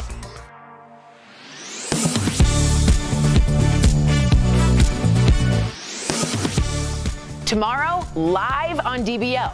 From Queer Eyes is Fab Five Jonathan Van Ness. Vivica A. Fox will also be here live. Plus, we talk with a Louisiana Senate candidate who smokes pot in his ad. What's behind this shocking campaign strategy? That's tomorrow on DBL. Welcome back to DBL. It's time for a healthcare update sponsored by Go Health. Staying active with age not only helps you stay fit, it supports brain health, and this can slow down the aging process. According to a new study, daily physical activities like jogging, walking, and jumping jacks can actually prevent dementia. Staying active as you age supports a special class of proteins in your brain that enhance the connections between neurons. So get moving if you want to maintain a healthy brain. If you're looking for a health insurance plan, Go Health makes it easy to enroll. Call 1 800 650 2534 or visit gohealth.com to find the plan that's right for you. We'll be right back. DBL is sharing milestones in Black history. DBL is for equal rights in America. And civil rights leader Bayard Rustin faced discrimination and hate not only because of the color of his skin, but also because of his sexual orientation. Although he did not live to see the first black president, Barack Obama awarded him with the Presidential Medal of Freedom for his activism. Promotional consideration is brought to you by N95 masks are considered the gold standard to protect people from COVID 19, followed closely by KN95 masks. They were in short supply in the early days of the pandemic, but today you can readily find them online. But there's a catch. The Centers for Disease Control and Prevention says 60% of KN95 masks it evaluated were fake. So let's verify.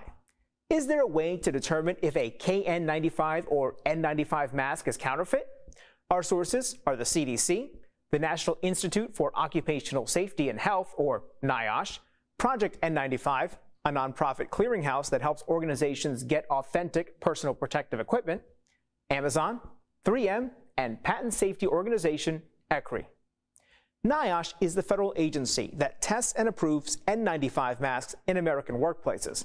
A mask must meet rigorous standards to earn its approval, which is indicated by a unique number stamped in the front. The mask should also have the NIOSH logo, a lot number, brand name, and model number on the front. 3M says if an N95 doesn't have any printing on it, then it's probably not authentic. Fake KN95 masks can be harder to detect, and ECRI says counterfeiting may be even more rampant. This is because KN95 masks must meet Chinese government standards, which require less labeling. Project N95 says at minimum, KN95 masks should have a label that reads GB2626, followed by either 2019 or 2006. Admittedly, it can be hard to tell what you're buying online. Amazon, one of the most popular online mask retailers, tells Verify it confirms N95 and KN95 masks are sourced from trusted manufacturers before listing them in its store, adding it implemented a quote rigorous seller vetting and product review process to ensure compliance with applicable laws, regulation, and Amazon policies, unquote. So it's true, there is a way to determine if a KN95 or N95 mask is counterfeit. Amazon says it offers refunds if a product isn't as advertised. With your Verify, I'm Brandon Lewis. On Monday, the Food and Drug Administration approved Moderna COVID 19 vaccine for use in individuals 18 and up. Prior to that, it had been authorized for emergency use by the FDA since December 18, 2020. Following FDA approval, Moderna says the vaccine will now be marketed in the U.S. under a new name, Spikevax. On Facebook, Verify viewer Lisa asked when the FDA approved Spikevax will be released. But that implies that Spikevax and the Moderna COVID 19 vaccine authorized for emergency use aren't the same. So, Lisa, let's verify. Are Spikevax and the Moderna COVID 19 vaccine the same? We went to these sources for an answer. According to the FDA and Moderna, Spikevax and the Moderna COVID 19 vaccine that was authorized for emergency use are the same thing. They have the same formulation. There isn't a release date for Spikevax because it's the same as the Moderna vaccine that's been administered to more than 74 million people in the US, according to CDC data. So we can verify yes, Spikevax and the Moderna COVID 19 vaccine are the same.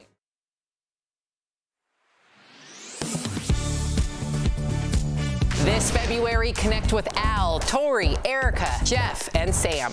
Leveled up. I'm here for it. Spirited talk. There needs to be consequences. I promise you, I don't care. Honest emotions. You are so generous to me. Always entertaining. I might be too jacked for TV. Real conversations are on DBL. I like that. Very nice. DBL, all new every day. Okay, welcome back. We love reading your comments. Of course, it's all about pizza. Stephanie says New York pizza. Marquita says no to pineapple, and New York is pretty good, but Chicago's on point. Thank you, Marquita. I'm Real- down with it. She's a Chicago girl. Real royalty says Chicago pizza is like an entire meal, It not is. grab and go. Vincent says New York pizza because there's less crust and messy sauce. What's the type that's real thin? Like That's the, York. the New York. crunchy, like the real thin. Crunchy? Yeah, like you know, like real thin. Oh, you mean like that? Like uh, no. St. Louis. Is that what it Is that what it's saying? Like on like that ciabatta? Almost just real crunchy thin. Ciabatta? What are we talking I about? I don't know what we're talking about. Like, if y'all don't get some beer battered crust, I don't know what you're talking Like about. Like a thin crust, you know, not like New normal- York. No, New York, I get it. New Haven. There's no such There's thing. There's no such thing. Oh, there is. Don't just Oh, yell, there is. Don't just yell things out. Cameraman Rob is fully dedicated right now. If you could only Punxsutawney. see. Maybe I'll keep it every day. We'll see you guys tomorrow, same time, same place. Bye.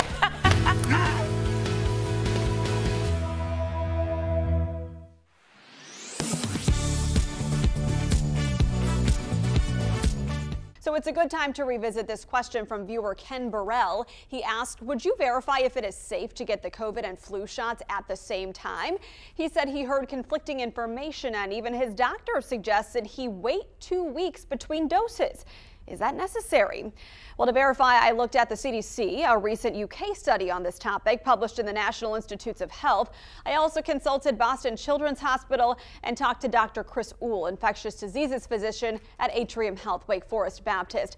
They all conclude it's perfectly fine to get the vaccines together or separately. Your COVID booster in one arm and you get your flu shot in the other arm and you do it at the same time and it really doesn't cause any more side effects together as it would separately. And it's certainly more convenient, but say you don't get them at the same time. Should you then wait two weeks between? No, you could go the next day or the next week. If you get them separately, though, you might feel temporary side effects after both shots. The UK study found taking a COVID vaccine and flu vaccine together yielded no safety concerns and did not reduce the immune response to either vaccine. Boston Children's Hospital said for children eligible to get the COVID vaccine, they too can take it with the flu shot. Common side effects are similar to those of adults, fatigue, muscle aches, and soreness at the injection sites. So in conclusion, we verified it's not unsafe to get the COVID and flu shots at the same time. You can take the shots simultaneously or separately with no safety or effectiveness concerns.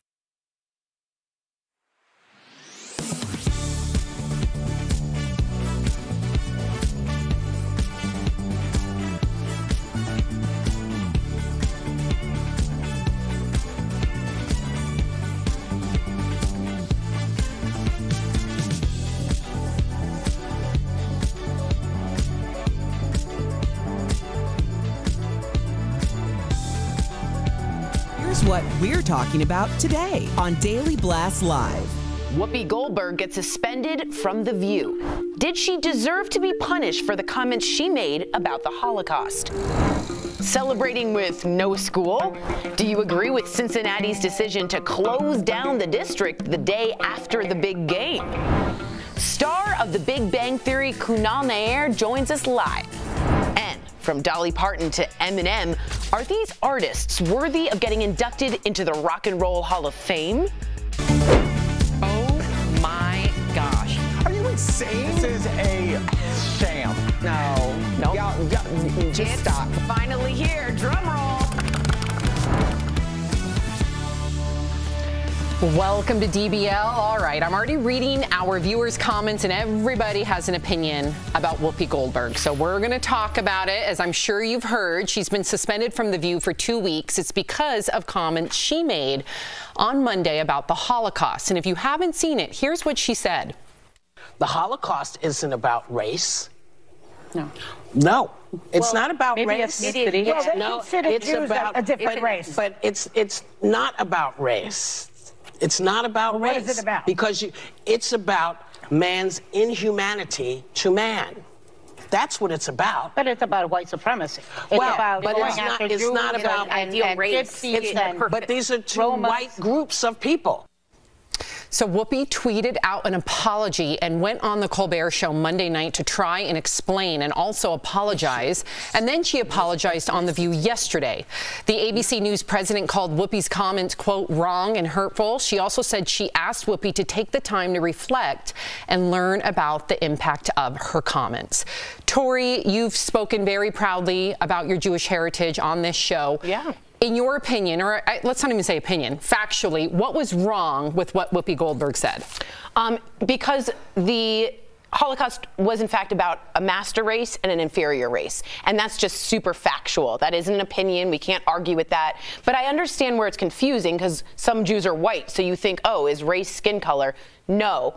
Just so you all know, Hitler thought there was a master race, and he would measure people's heads to make sure they fit. They took measurements, and if you weren't part of the master race, the Aryan race, you were an inferior race and to be eliminated. So that includes the homosexuals, the Jews, the Polish, the Russians, anyone disabled, anyone mi- minority to them was to be literally wiped off the face of the earth because they were not to be taken over the world in a master race. That's a great explanation, and I'm glad you said that because I've, I was already seeing confusion in our comments. Comments. But to that point, and now that you've clarified that, I want to talk about how there's more to the story. Okay, Joy Behar addressed Whoopi's suspension for like three seconds at the top of today's show, but several tabloids are reporting that Whoopi's co-hosts, including Joy, are furious with the network's decision to suspend her, while others are reporting that some employees are upset that it took the network two days. So let's get into the discussion that everybody's talking about.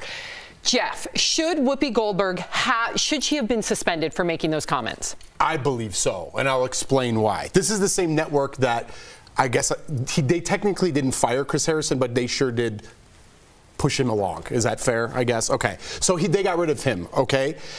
Whoopi Goldberg, listen, everybody loves this cancel culture that we're in when they want to cancel people they don't like. When it happens to somebody they like, they're like, whoa, whoa, whoa, they don't need to be canceled. Things have gotten too far. I like the way the network handled this. I'll tell you why. Because Whoopi said something that she shouldn't. We're on live television, we're going to say things that we shouldn't. You shouldn't lose your livelihood because of something maybe that you're you don't understand or something that you are stupid about, just to put it plain and simple. And you shouldn't lose your livelihood. You shouldn't be degraded. You shouldn't have to go somewhere. Now, can I get a job at Home Depot because I'm already labeled a racist? Can I go there and get a job, or is that on Home Depot? I'm going to get back to the conversation. Trust me. But this is I talk about this all the time. You need to set a precedent. Whoopi's going to learn about this. It's a learning moment. Tori just explained it. That's why it's a learning moment. When Whoopi comes back, she's going to talk about it at the table. When you cancel somebody and you push them away, you push them into a group of people perhaps that they don't necessarily want to belong to, but that's the only people that'll listen to them at that point. And that's what we're doing in society. We're pushing people away and like, well, I guess I don't belong here. I guess I'm going to go with these people. And then you start thinking these crazy things. We need to learn from moments. We need to have these teachable moments. And that's what I think Whoopi is. So you I think, suspension, not being fired? Yeah, I think what they, yes, absolutely. Because what happened with Chris Harrison, I didn't agree with. I really didn't. What they did at Jeopardy, letting social media make their decision, I didn't agree with. Well, the employee spoke out on the Jeopardy situation. I think we need to be clear about that. The whole culture at Jeopardy said we don't want him here anymore. So that's a little different. A little different. I don't agree with what the producers did anyway. I like what the producers did in this sense. I'm just going to leave it at that. What do yes. you think, Erica? Well, I can understand um, if it's true that her co-hosts are upset about it. Um, I would imagine, and this is just me speculating, that the reason why is because they lost the ability to do what we're doing right now in this moment, and they lost that ability when it is directly about them and affecting them and their team. Because Tori very plainly explained, and I wish we could have gone a little bit more into it because I think this right now is a teachable moment, right. especially when we talk about race in America, because race in America is a very aesthetic conversation. Mhm. It's about what you look like versus what you don't. That's how we clarify and categorize. Um, you know, when you are having conversations, and we say this like all the time, where it's like, you know, if you want to argue the Holocaust, just don't. Right. Um, but I, when you said that you understood why she was confused on it, and I think it also has to speak to, much to Jeff's point, if there isn't a clear example as to a pattern of behavior or the intentions of one's what someone says especially on live TV I call this an occupational hazard. Like I feel like every day I come to work and I am walking around a land like on landmines because you in the moment can absolutely say something and not have the intention behind that it's portrayed right. or heard by other people. And there's going to have to be a level of grace for people to really openly and transparently say what's on their hearts and minds. If I said something and it was the only time that I've ever said something to the effect that people took it,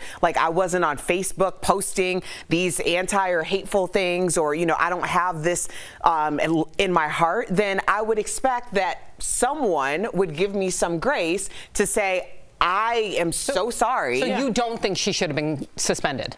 I believe just speculating that she was in on whatever the decision was made okay. for her. Interesting. Tori. I strongly don't think she should have been suspended. and I'll tell you why. Mostly because of what you said, but also because of the word intent.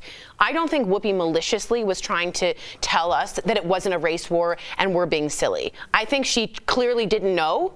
And had it been a moment where we had just had what we just had, the whole audience and everybody would have been elevated. Now, you shut her up, you get her out of there. She's already apologized.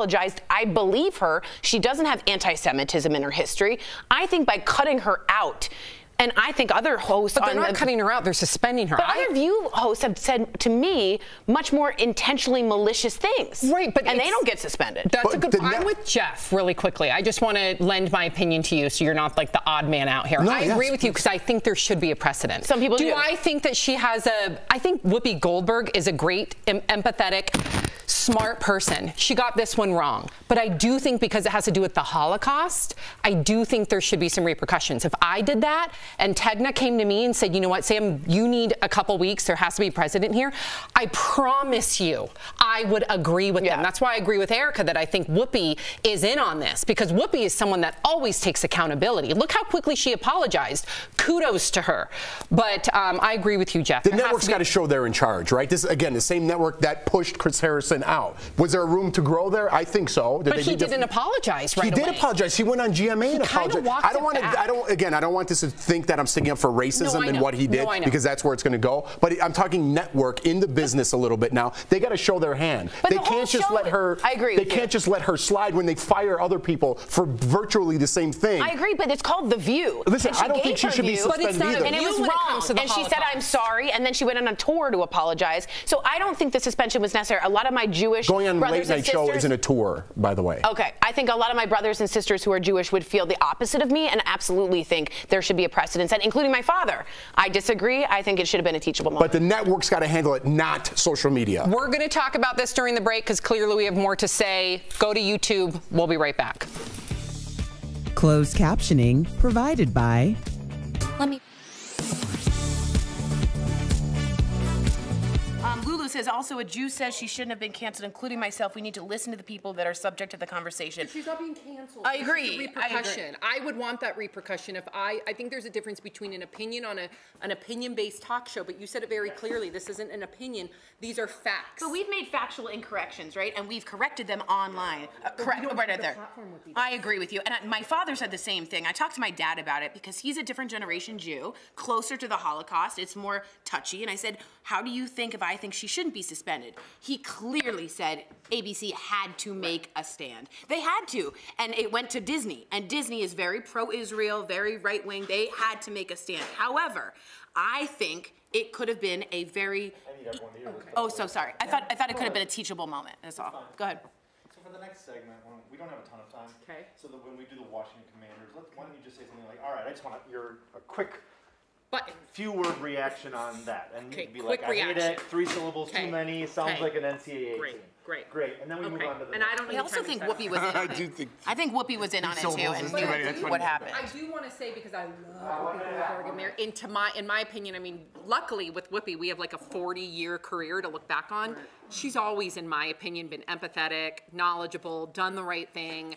Um, I don't think this is going to affect Whoopi. I think in the long run, when Whoopi comes back and she owns it, like we all know she will, or at least I believe she will, I think people will see that's how you do it. But I think if Jeff and I had a discussion about the Holocaust and something factually was made and someone came in and, or it wasn't just Jeff, anyone, and we came and corrected it, I would be heard as a co-host if my co-host was suspended for getting it wrong and correcting I themselves. mind if I was suspended. I know. I I know really she wouldn't. wouldn't. I'd rather be suspended than fired.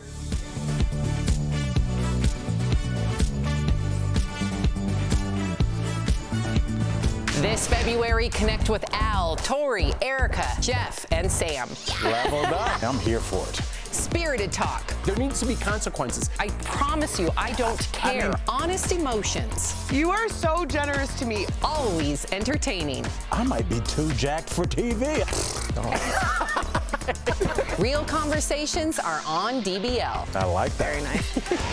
DBL, all new every day.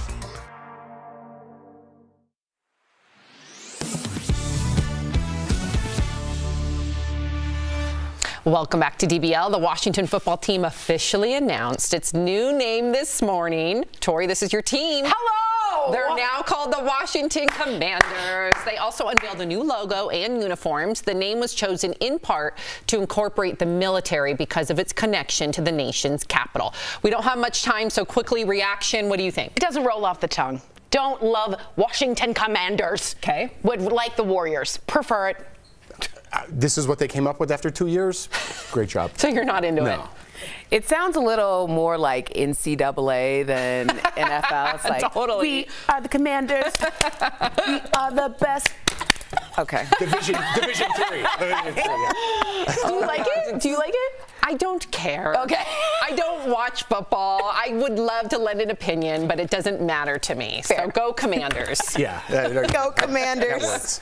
All right, so kids in Cincinnati have reason to celebrate because public schools in the city, speaking of football, are giving the day off the day after the Super Bowl. It's to celebrate the Bengals making it to the big game. A lot of people think that Monday should be a national holiday. What do you guys think? Okay, look at look at Jeff. Of course, I've been saying this forever. If I were running for president, I'm not even joking. They Oh should put this on their campaign. Right, list. Be like, I am going to give the United States off on Monday. I would vote for that person. I'm not even joking because I don't know anything about politics. That would be my point And of I'm view. aware of that, and I would not vote for you, but I would think about it because of your stance on this. Guess what? I don't appreciate the pointing in my face. You know what? I won't do it anymore. I apologize. Do you accept my apology? Yes. Okay. I just have to say, I don't like. We've had a hard year, a couple of years. Cincinnati wasn't ever supposed to do this. It's like Major League doing it. The Bengals, give them the day off. Let us have the moment to celebrate and have morale for a What do the kids care? What do- because the parents are hungover. They don't want to be in line and carpool. Ay, the light.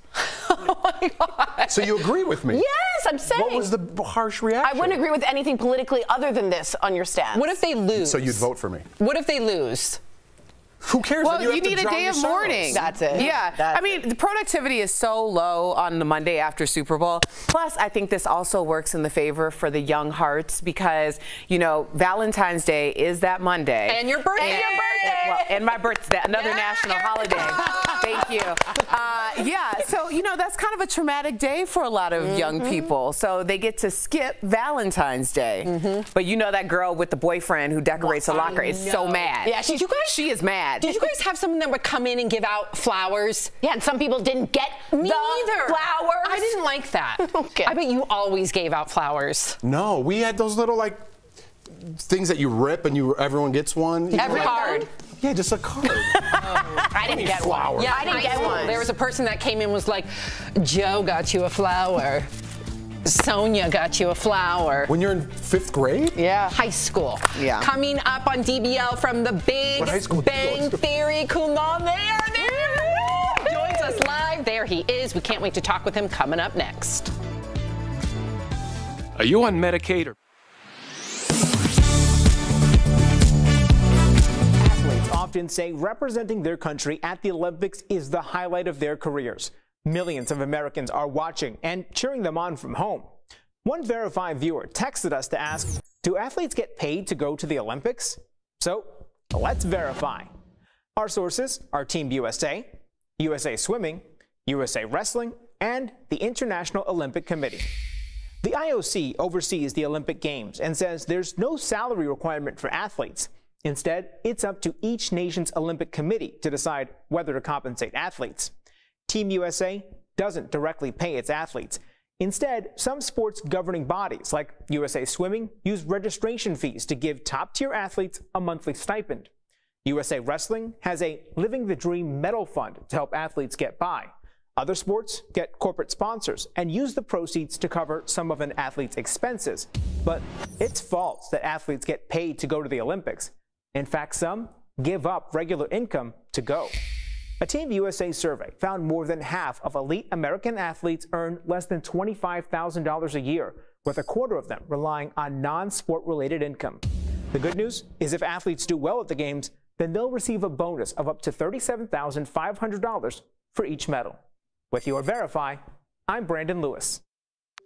This February, connect with Al, Tori, Erica, Jeff, and Sam.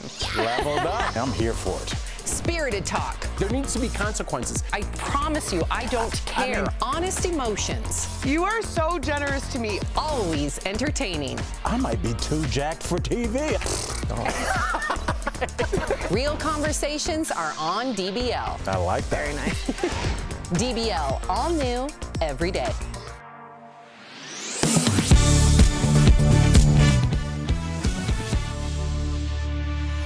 Welcome back to DBL. For 12 years, we loved him as the astrophysicist who couldn't speak around girls and loved comic books. But his new role is a far cry from his comedic one on Big Bang Theory. Please welcome to the show, Kunal Nayyar. Yes, baby. What a gorgeous background. Where are you? Rich mahogany.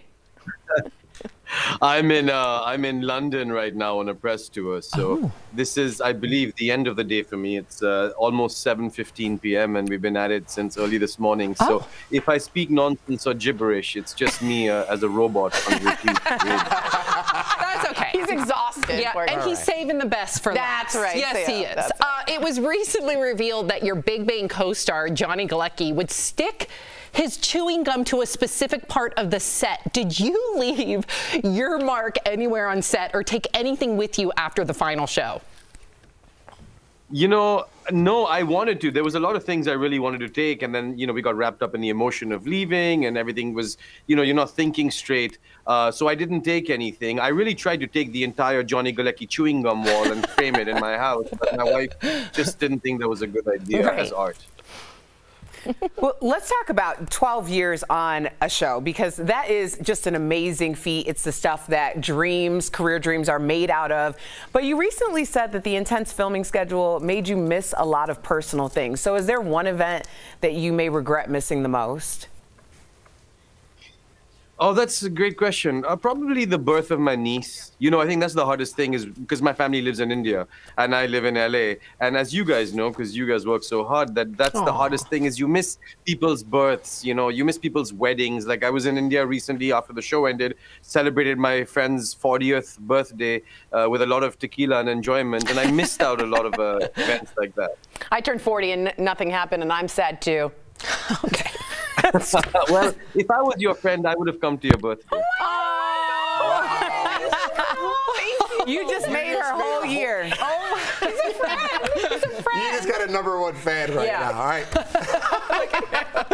right, Kunal, Sheldon's character has a spin-off show. If your character Raj were to get a spin-off, Mm-hmm. what would you want his storyline to be?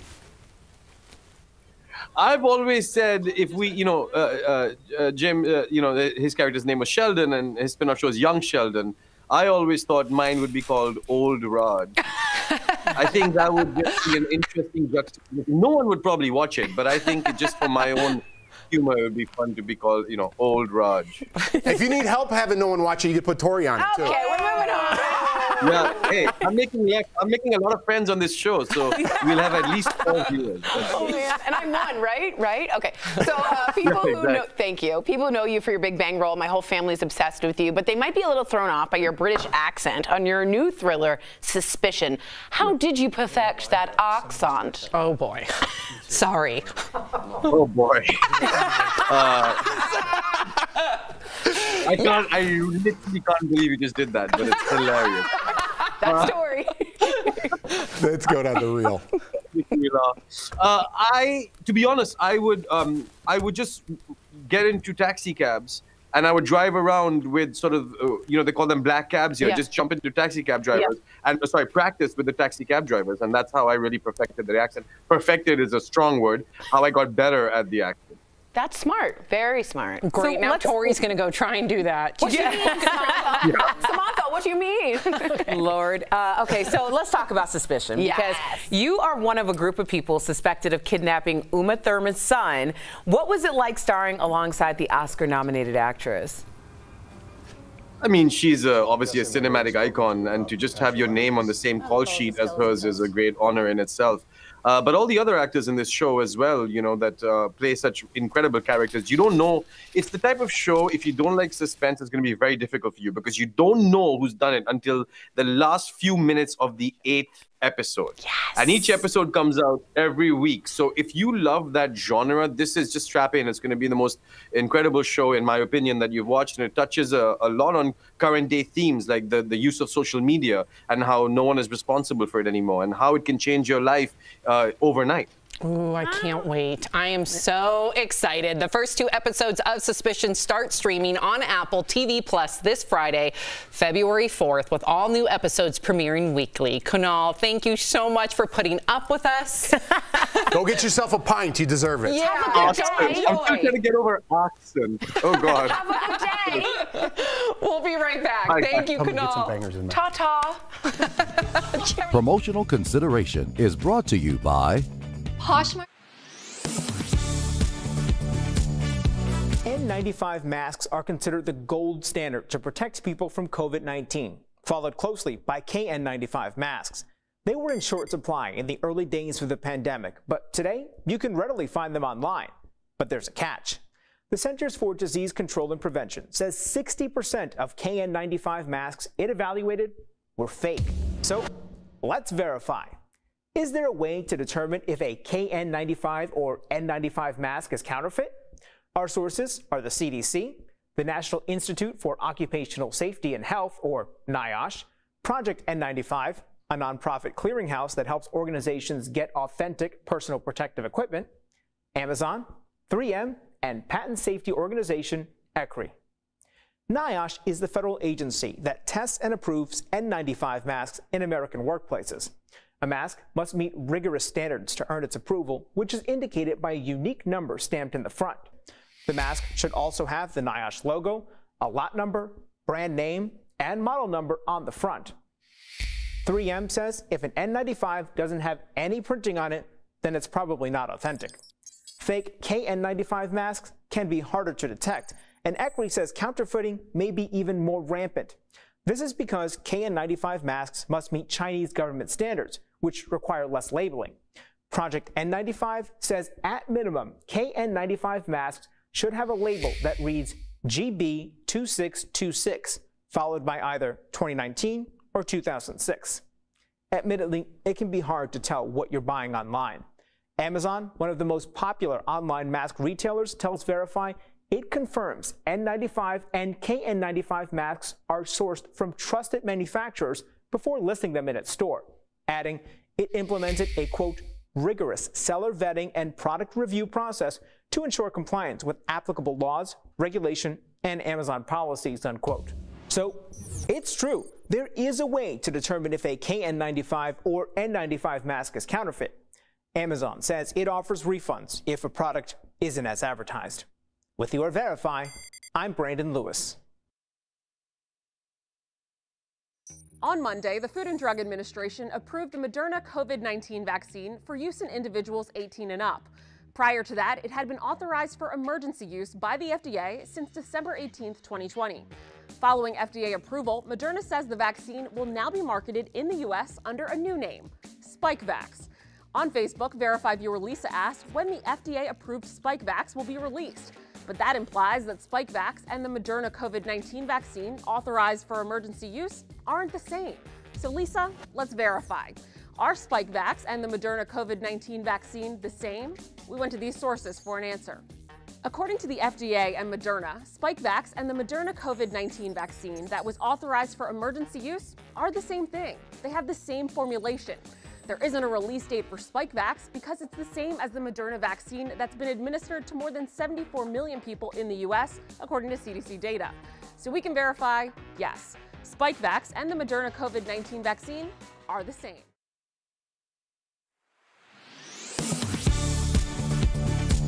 February, connect with Al, Tori, Erica, Jeff, and Sam. Leveled up. I'm here for it. Spirited talk. There needs to be consequences. I promise you, I don't care. Honest emotions. You are so generous to me. Always entertaining. I might be too jacked for TV. Real conversations are on DBL. I like that. Very nice. DBL, all new every day. You do not want to miss a single day of February. Okay, Tori, we actually have a comment for you in regard to the Whoopi Goldberg conversation. This is coming from Mary White. She says, Tori is such a hypocrite. I have seen her blast conservatives for making comments similar to what Whoopi said, and Tori called them racist or anti-Semitic. Now, I read you this comment because you're you're great at uh, having open debate. Totally, and I appreciate that feedback, and I would understand such a tense topic would bring this out.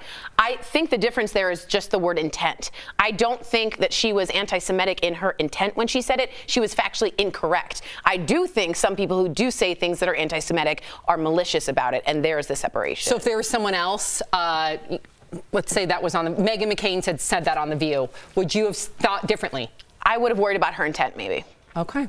Interesting. If you're, thank you for for answering. Of honestly. course, and thanks for the feedback. You can watch the second half of the show online, but if you're sticking around, here is what's coming up. Does Dolly Parton deserve to be in the Rock and Roll Hall of Fame? We're talking about this year's nominees. Plus, David Letterman revisits the late night show set, how he's celebrating 40 years since his show's premiere.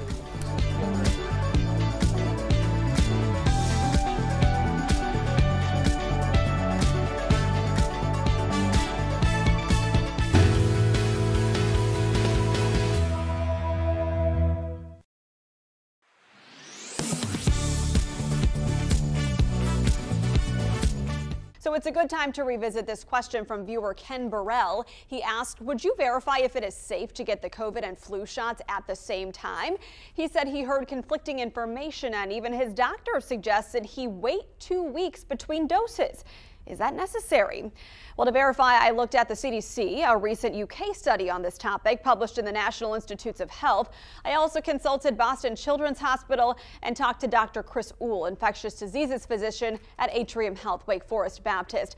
They all conclude it's perfectly fine to get the vaccines together or separately. Your COVID booster in one arm, and you get your flu shot in the other arm, and you do it at the same time. And it really doesn't cause any more side effects together as it would separately. And it's certainly more convenient, but say you don't get them at the same time. Should you then wait two weeks between? No, you could go the next day or the next week. If you get them separately, though, you might feel temporary side effects after both shots. The UK study found taking a COVID vaccine and flu vaccine together yielded no safety concerns and did not reduce the immune response to either vaccine. Boston Children's Hospital said for children eligible to get the COVID vaccine, they too can take it with the flu shot. Common side effects are similar to those of adults, fatigue, muscle aches, and soreness at the injection sites. So in conclusion, we verified it's not unsafe to get the COVID and flu shots at the same time. You can take the shots simultaneously or separately with no safety or effectiveness concerns.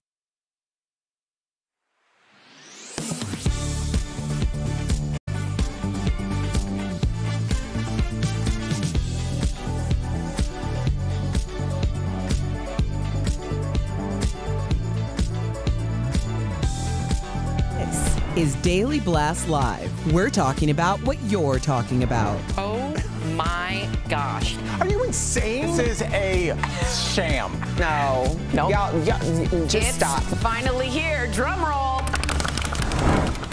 Her name is Rio and she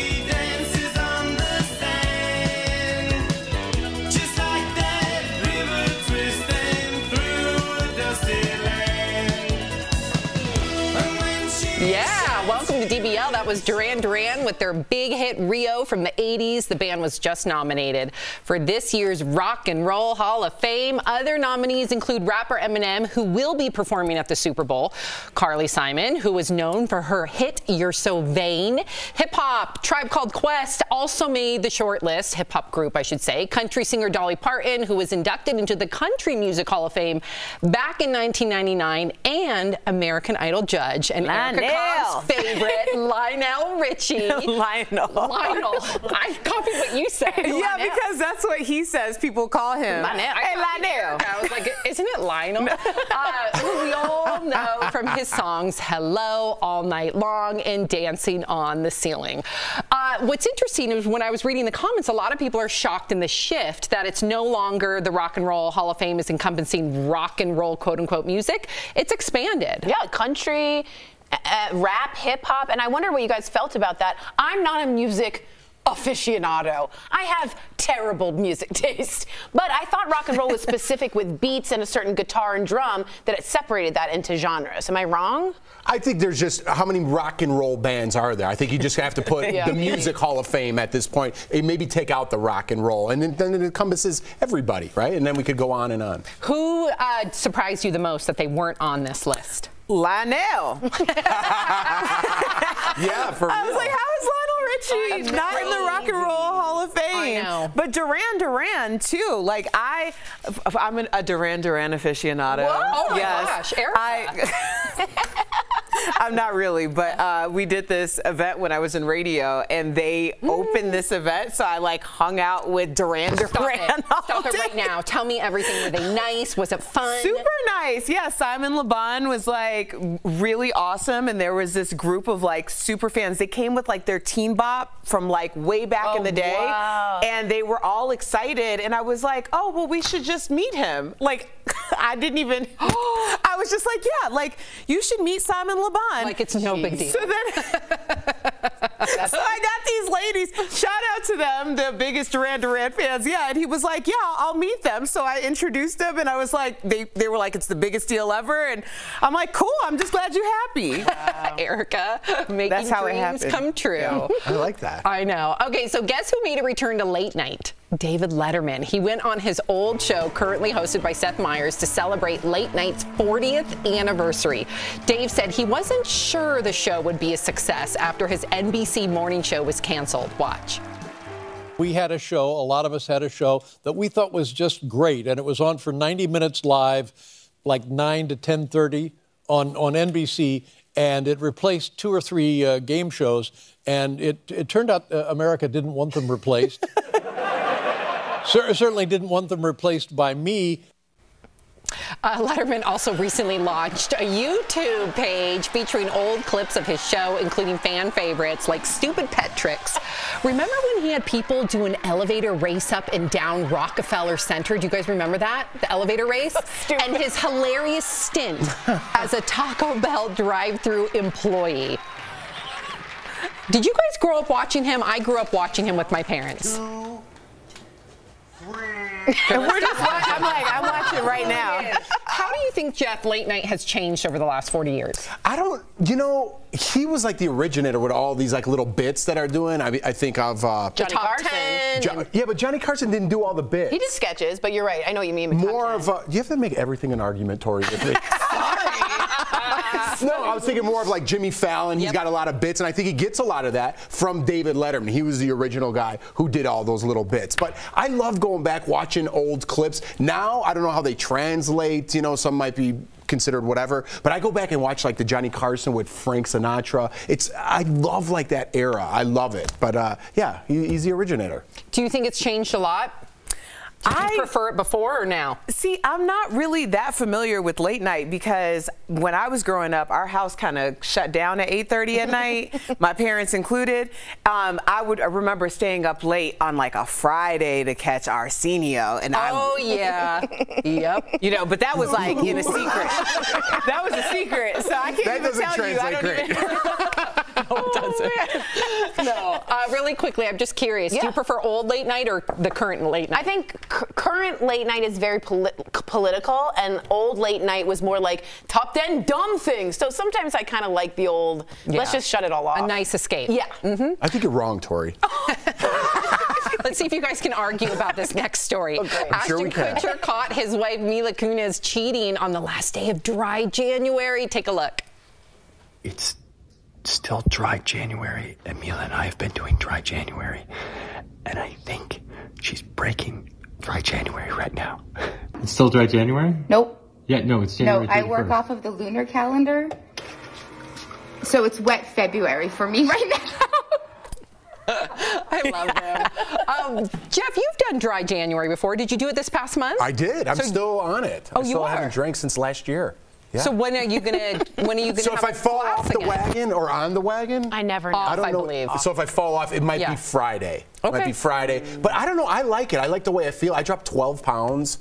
I've been working out every day. I got back into yoga. 12 I'm pounds in- writing. in one month? Yeah, I'm just bloated. And what are you writing? Wait, I'm you writing, I'm, I'm, I'm writing all the, I'm, like a, a lot of my goals, you know, that I want to write You're sketches and things like that. So I've been doing, I got projects for my uh, garage, Giardiniera. I've been crunching the numbers. I've been doing, I've been, it's like George when he stops having sex on Seinfeld. I'm like a genius all of a sudden. So and then. Friday I'm gonna have a beer and be like, I know, whoa, whoa, whoa, whoa. I'm just all stupid. Tori, what about you? Um, I've gone dry for the past two weeks, and really to lose weight. Um, because I felt like I was getting the, the Mitch McConnell, like, I mean, no harm, but the thing, you know? I'm sorry. Nothing- That's the. Sorry. Nothing against Mitch McConnell, of course. I'm just saying it's a real thing. So I stopped, and I also lost a little up here. You did? Yeah, and I also feel a little bit more present. So I'm gonna try and and, um, and I X off on my calendar um, when I don't drink, so I can see it. I think that's been really helpful. So way to go! I think it's great to take 30 days off of something. Do you do any any like long cleanse, whether it's alcohol or maybe it's something else? No, I don't believe in it. Yeah, I don't do that either. yeah, me But neither. you guys are better at moderation. yeah, I'm better than, at we- than I moderation. am. I guess, mm, right? Sometimes. I like, I like to deprive myself of something. Yeah, you do. You're a I do. masochist. You're a masochist. For In sure. some sort of way, there's You a like that. gratification for challenging myself. like I'm not going to eat meat for this long or do so. I like that. What's Is that weird? No, What's I don't think it's Oh. weird. I just think that sometimes that's like reason season type thing. Cause like I did that for years, like eight months. I restricted everything So now in you my don't do life. it. Yeah. So Well, now I'm doing um, fitness, fitness competition. Yeah. So now it's kind of a trigger for me. So I never just quit cold turkey anything because I can't handle it. Right. Can't wait to see what happens Friday. Can I hang out with you on Friday? no. No, you know what? It's snowy here, and then my wife has like some friends she's going out with on Saturday, so I'm going to be home with the kids. So I might just wait till like the Super Bowl, but then we got to go to work the He next day. He completely disregarded what you said. What'd you say? I said, could we hang out on Friday? And you said, Of course not. the fact that it went in one ear and out the other with Jeff was. You can't write this stuff, folks. You cannot write this stuff. Okay, there is a new reality Of show that you can. recently debuted on A&E called Adults Adopting Adults, where families consider adopting grown adults. As you can expect, things get messy. Watch. You guys do a background check of Bianca? Do you trust her in your home? Um. Did she tell you that her and Papa lend me some money? No. They didn't? No, oh. they didn't. I need a minute. Our marriage is not strong enough to support this. Are you gonna be my mom? What? Whoa, Are there any positives out of that? Oh my goodness. So we were watching the uh, Janet Jackson documentary, and they were advertising this. And every time we watched it, we laughed harder and harder. Anthony? Yes. It's, oh, I mean, it's just so like I could see there being reasons, especially like maybe medical situations for adoption, adult adoption. I don't. This is. This don't sit right in my spirit. What do you mean? Like you feel like it's making a mockery of real adoption? I don't know if it's making a mockery of real adoption. I just it just doesn't sit right with me. Like I feel like there's a lot of nefarious purposes for like people are like, "Oh, I need a legacy," and somebody else is like, "Yeah, and I kind of need a car." You I know, don't get like it. Do it's they just move in? weird. I don't Like, do they fully move in? It, it appears that way. It Isn't comes like out white this week, swap, right? But with like With adults. Can you imagine if like your family adopted Tori? I feel like I don't know. Do you see any? I don't. I don't like that. Like I just picture myself Christmas morning, like, where's who's that? It's Frank. He's in his PJs. He's part of our family now. What? Frank, Frank's 40.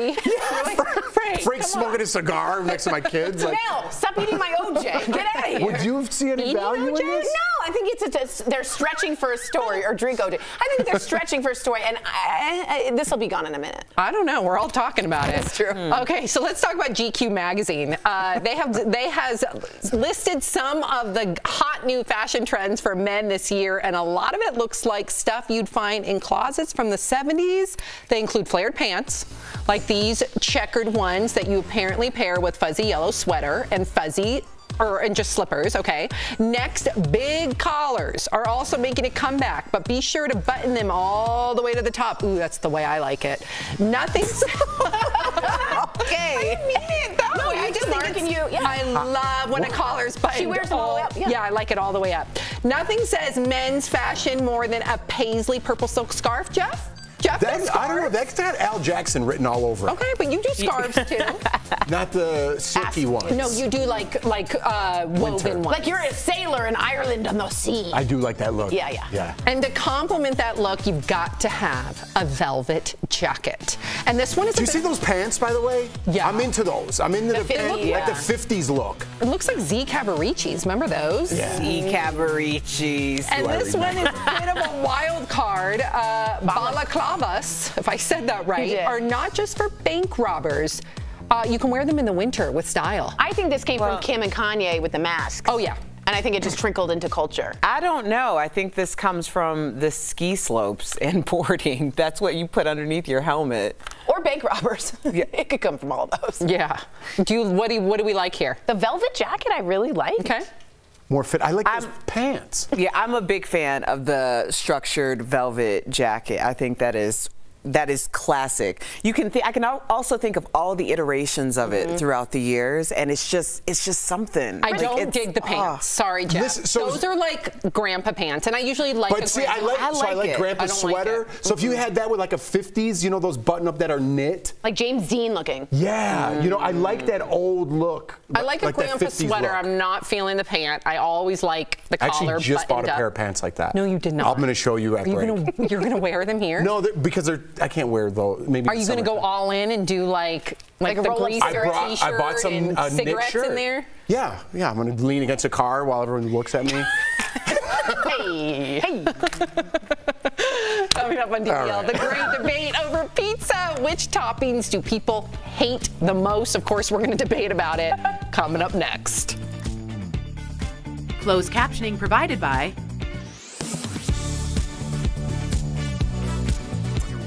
So here we go, Sam. I'm gonna show you. So Jeff told me he got some new pants. So those are the ones I got. Oh my God, they're exactly. Yeah, I First of just all, bought those. Though you, this is not the same. They look the same, but there's no pleats. That's so different. But they kind of look like it. I love these. So- I love these. Okay, I just bought those. They're Okay, on their tho- way. there's no pleats on these. I Well, they look similar. and then look, Mr. Ripley. Yeah, but please gotta make it big. But if you're skinny and straight, I like the pleats because you can you can pull like my husband can pull it off. I like the pants Jeff got. Okay, now let me show you the Yeah. shirts I got. Okay. Oh, and Stephanie says Al Jackson with his romper now accompanying a scarf. Remember, guys, he had a hat with a pom pom as well. Oh my gosh, I miss those days. The beret with the pom pom. I just remember because I was in the corner. This was like four years ago. And I remember all of a sudden, like feeling an energy. I look to that corner and Al Jackson walks in super strolling. Like he knew people were gonna notice. He had his little beret on with a pom pom. He was holding hat boxes with like, I don't know how many hats he got during the break. Three. Oh my God. And I he just there. strolled in super like, look at me. And I loved every moment of it. It was like a diva moment for sure. All right, now Al will tell you the same, so I'm not. So every hat that you buy, you get like a little thing of whiskey. So we all bought hats, and then Al bought three But hats. they so it's- come out and they're like, here's No, some. he was just primed when he came. He was so. I I, remember think the last day. purchase was the beret because he's like, why not? lowers your inhibitions. There's a reason why salespeople offer you champagne or Yeah. whiskey when you're shopping, okay? Uh, let me see the tops you got. I am. I am. I'm trying to do. Are they going to pair with the No, not zip. Yes, I'm telling you, it's like Your a pants 50s are look. great, but those definitely are not pleated pants. All Those right, are here we flat People pants. are already writing in about pizza toppings, so guess what they're saying? No pineapple. Oh, yes, the next segment is.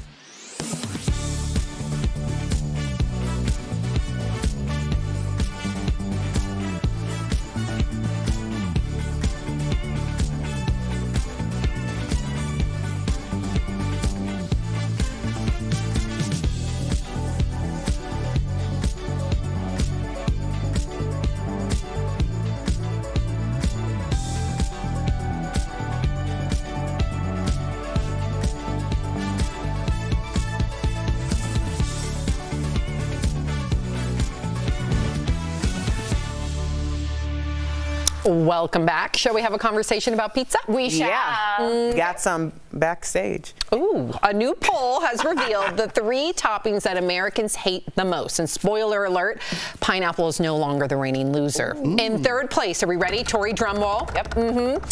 Jalapeno peppers. Huh. Hmm. Okay. Pineapples took second place. And for the least desirable pizza topping of all time, get it, Tori. The winner of the losers. Ew, anchovies for sure. Yuck. Would any of you, do you, any of you like? Oh, I still got to read. Okay, sorry. The survey also revealed that for unlimited free pizza, people would let someone spoil every movie they saw, shave off all their body hair, or text an ex. Hmm. What would you guys do for unlimited free pizza? At text, I mean, all of it. You would shave all your hair. For unlimited pizza? Yeah. Yeah. What? For the rest of my life? Okay, I'm gonna test Jeff on this. If there's any pizza companies out there that want to sponsor Jeff and offer him pizza for for you to shave off all your hair, that includes your eyebrows. That's a tough one. And I gotta you check always with my make fun of my no eyebrows, so jokes on you. Well, it's not yet. What was that, Courtney? You want to get sick of all that pizza coming from Courtney? I just, I'm more into the free for life type of thing. Okay. You know? Yeah. What about you, Erica? No, yeah, I'd rather just work and, And pay what for would, it. what's the least desirable topping to you? Um, I don't. I guess. Well, anchovies seems a little like you know just strange to put on a pizza, but I always have the same go-to pizza order no What is matter what. Oh, you got to do. Uh, pepperoni, mushroom, and black olive, and then you want to put giardiniera on top of it. Okay, Chicago is. Yes. What about you, Tori? Um, I don't get when someone orders a pizza and then gets tomato on the pizza because the sauce is tomato. Huh? Thank you, Seinfeld.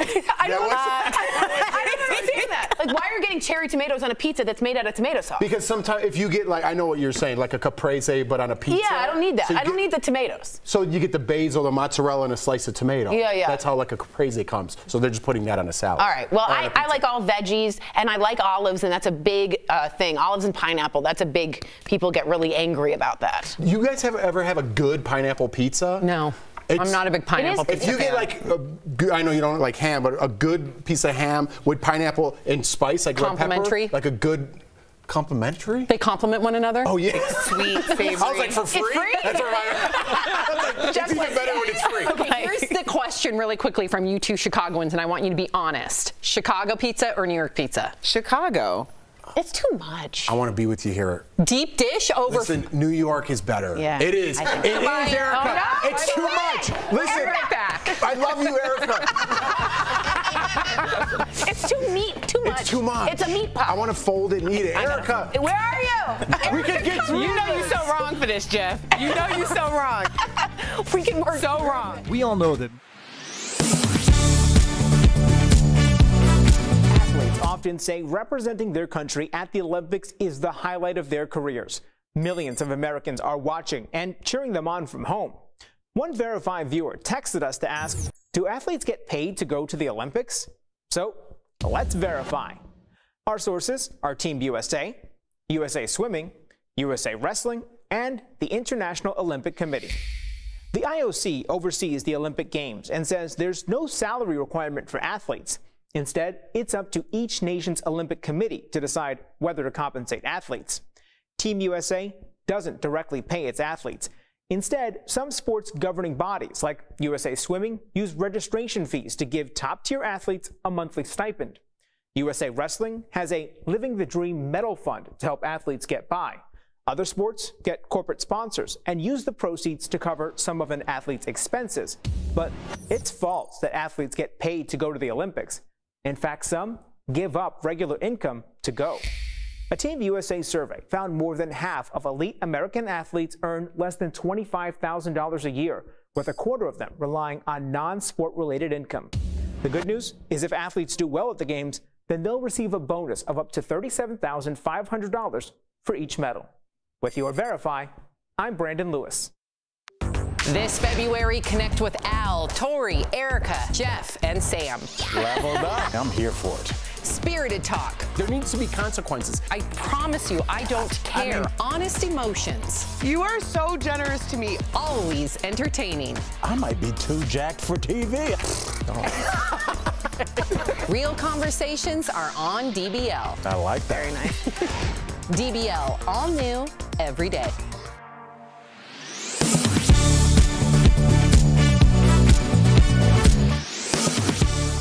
Tomorrow, live on DBL. From Queer Eyes is Fab Five Jonathan Van Ness. Vivica A. Fox will also be here live. Plus, we talk with a Louisiana Senate candidate who smokes pot in his ad. What's behind this shocking campaign strategy? That's tomorrow on DBL.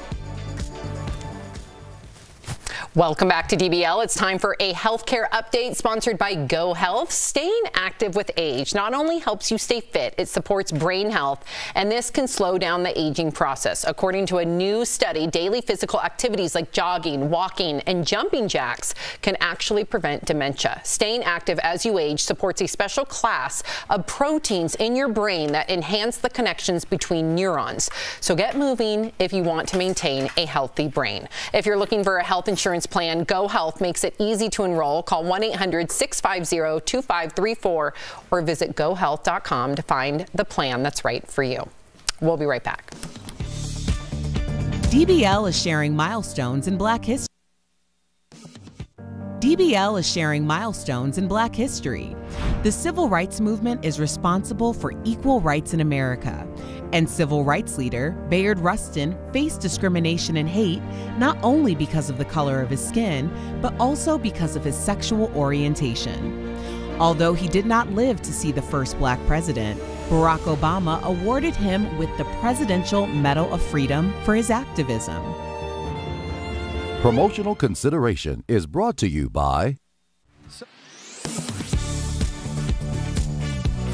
N95 masks are considered the gold standard to protect people from COVID 19, followed closely by KN95 masks. They were in short supply in the early days of the pandemic, but today you can readily find them online. But there's a catch. The Centers for Disease Control and Prevention says 60% of KN95 masks it evaluated were fake. So let's verify. Is there a way to determine if a KN95 or N95 mask is counterfeit?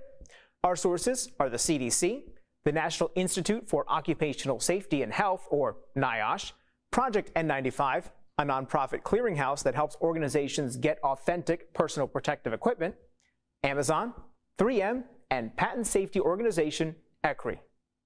NIOSH is the federal agency that tests and approves N95 masks in American workplaces. A mask must meet rigorous standards to earn its approval, which is indicated by a unique number stamped in the front. The mask should also have the NIOSH logo, a lot number, brand name, and model number on the front. 3M says if an N95 doesn't have any printing on it, then it's probably not authentic. Fake KN95 masks can be harder to detect, and ECRI says counterfeiting may be even more rampant. This is because KN95 masks must meet Chinese government standards, which require less labeling. Project N95 says at minimum, KN95 masks should have a label that reads GB2626, followed by either 2019 or 2006. Admittedly, it can be hard to tell what you're buying online. Amazon, one of the most popular online mask retailers, tells Verify it confirms N95 and KN95 masks are sourced from trusted manufacturers before listing them in its store, adding it implemented a quote rigorous seller vetting and product review process to ensure compliance with applicable laws, regulation, and Amazon policies, unquote. So it's true. There is a way to determine if a KN95 or N95 mask is counterfeit. Amazon says it offers refunds if a product isn't as advertised. With your Verify, I'm Brandon Lewis. On Monday, the Food and Drug Administration approved a Moderna COVID 19 vaccine for use in individuals 18 and up.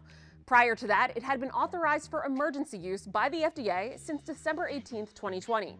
Following FDA approval, Moderna says the vaccine will now be marketed in the U.S. under a new name, Spikevax. On Facebook, Verify viewer Lisa asked when the FDA approved Spikevax will be released. But that implies that Spikevax and the Moderna COVID 19 vaccine authorized for emergency use aren't the same. So, Lisa, let's verify. Are Spikevax and the Moderna COVID 19 vaccine the same? We went to these sources for an answer. According to the FDA and Moderna, Spikevax and the Moderna COVID 19 vaccine that was authorized for emergency use are the same thing. They have the same formulation. There isn't a release date for Spikevax because it's the same as the Moderna vaccine that's been administered to more than 74 million people in the US, according to CDC data. So we can verify yes, Spikevax and the Moderna COVID 19 vaccine are the same.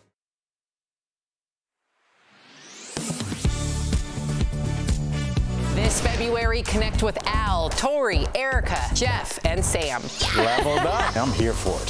Spirited talk. There needs to be consequences. I promise you, I don't care. Honest emotions. You are so generous to me. Always entertaining. I might be too jacked for TV. Real conversations are on DBL. I like that. Very nice. DBL, all new every day. Okay, welcome back. We love reading your comments. Of course, it's all about pizza. Stephanie says New York pizza. Marquita says no to pineapple, and New York is pretty good, but Chicago's on point. Thank you, Marquita. I'm down with it. She's a Chicago girl. Real Royalty says Chicago pizza is like an entire meal, It not is. grab and go. Vincent says New York pizza because there's less crust and messy sauce. What's the type that's real thin? Like the crunchy, like the real thin. Crunchy? Yeah, like you know, like real thin. Oh, you mean like that, like, no. St. Louis. Is that what it is? Is that what it's saying? Like on like that ciabatta? Almost just real crunchy thin. Ciabatta? What are we talking I about? I don't know what we're talking about. Like, if y'all don't get some beer battered crust, I don't know what you're talking Like about. Like a thin crust, you know, not like New York. No, New York, I get it. New Haven. There's no such There's thing. There's no such oh, thing. there is. Don't just Oh, there it Don't is. just yell things out. Cameraman Rob is fully dedicated right now. If you could only Punxsutawney. Maybe I'll get every day. We'll see you guys tomorrow, same time, same place. Bye.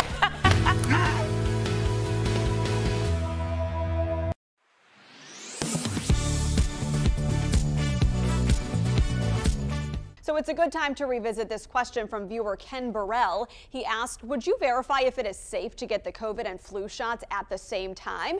He said he heard conflicting information and even his doctor suggested he wait two weeks between doses. Is that necessary? Well, to verify, I looked at the CDC, a recent UK study on this topic published in the National Institutes of Health. I also consulted Boston Children's Hospital and talked to Dr. Chris Ohl, infectious diseases physician at Atrium Health Wake Forest Baptist. They all conclude it's perfectly fine to get the vaccines together or separately. Your COVID booster in one arm, and you get your flu shot in the other arm, and you do it at the same time. And it really doesn't cause any more side effects together as it would separately. And it's certainly more convenient, but say you don't get them at the same time. Should you then wait two weeks between? No, you could go the next day or the next week. If you get them separately, though, you might feel temporary side effects after both shots. The UK study found taking a COVID vaccine and flu vaccine together yielded no safety concerns and did not reduce the immune response to either vaccine. Boston Children's Hospital said for children eligible to get the COVID vaccine, they too can take it with the flu shot. Common side effects are similar to those of adults, fatigue, muscle aches, and soreness at the injection sites. So in conclusion, we verified it's not unsafe to get the COVID and flu shots at the same time. You can take the shots simultaneously or separately with no safety or effectiveness concerns.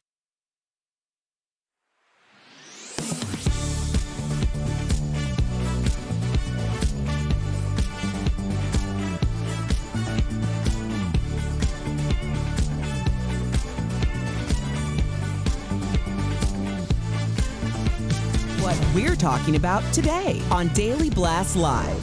Whoopi Goldberg gets suspended from The View. Did she deserve to be punished for the comments she made about the Holocaust? Celebrating with no school? Do you agree with Cincinnati's decision to close down the district the day after the big game? Star of The Big Bang Theory, Kunal Nayyar, joins us live. And from Dolly Parton to Eminem, are these artists worthy of getting inducted into the Rock and Roll Hall of Fame? Oh my gosh. Are you insane? This is a sham. No. No. Y'all, y'all, just It's stop. Finally here.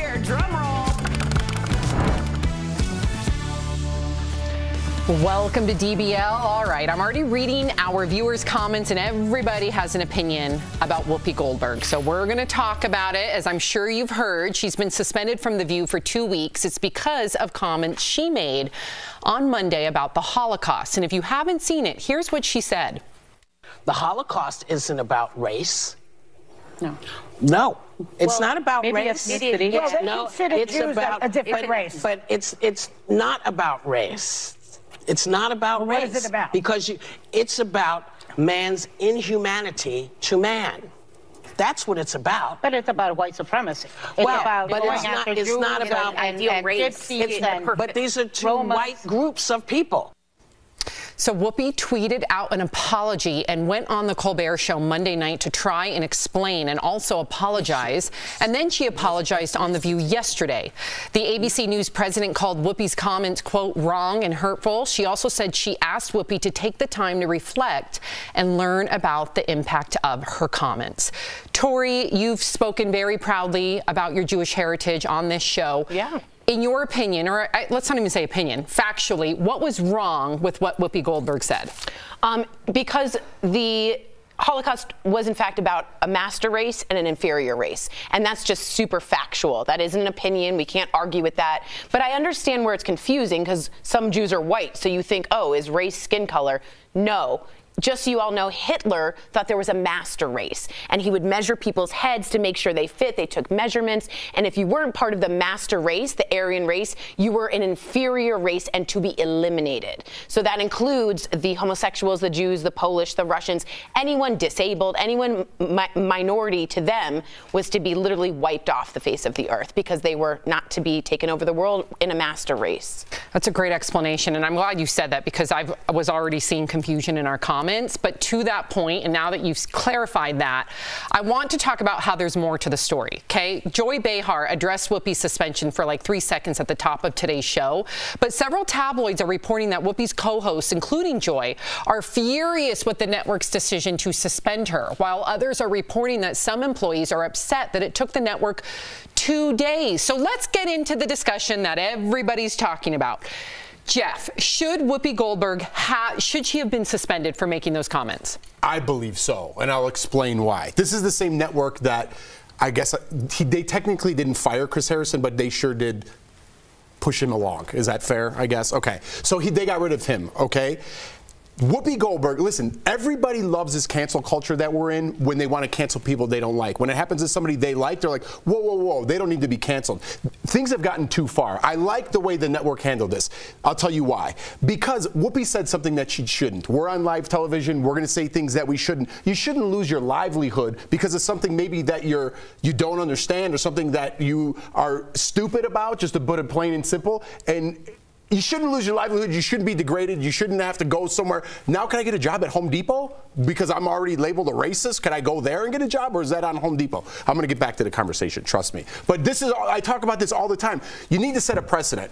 Whoopi's going to learn about this. It's a learning moment. Tori just explained it. That's why it's a learning moment. When Whoopi comes back, she's going to talk about it at the table. When you cancel somebody and you push them away, you push them into a group of people perhaps that they don't necessarily want to belong to, but that's the only people that'll listen to them at that point. And that's what we're doing in society. We're pushing people in and like, well, I guess I don't belong here. I guess I'm going to go with these people. And then you start thinking these crazy things. We need to learn from moments. We need to have these teachable moments. And that's what I think Whoopi is. So you I think, suspension, not being fired? yeah, I think what they, yes, absolutely. Because what happened with Chris Harrison, I didn't agree with. I really didn't. What they did at Jeopardy, letting social media make their decision, I didn't agree with. Well, the employee spoke out on the Jeopardy situation. I think we need to be clear about that. The whole culture at Jeopardy said we don't want him here anymore. So that's a little different. A little different. I don't agree with what the producers did anyway. I like what the producers did in this sense. I'm just going to leave it at that. What do you think, Erica? Well, I can understand um, if it's true that her co-hosts are upset about it. Um, I would imagine, and this is just me speculating, that the reason why is because they lost the ability to do what we're doing right now in this moment, and they lost that ability when it is directly about them and affecting them and their team.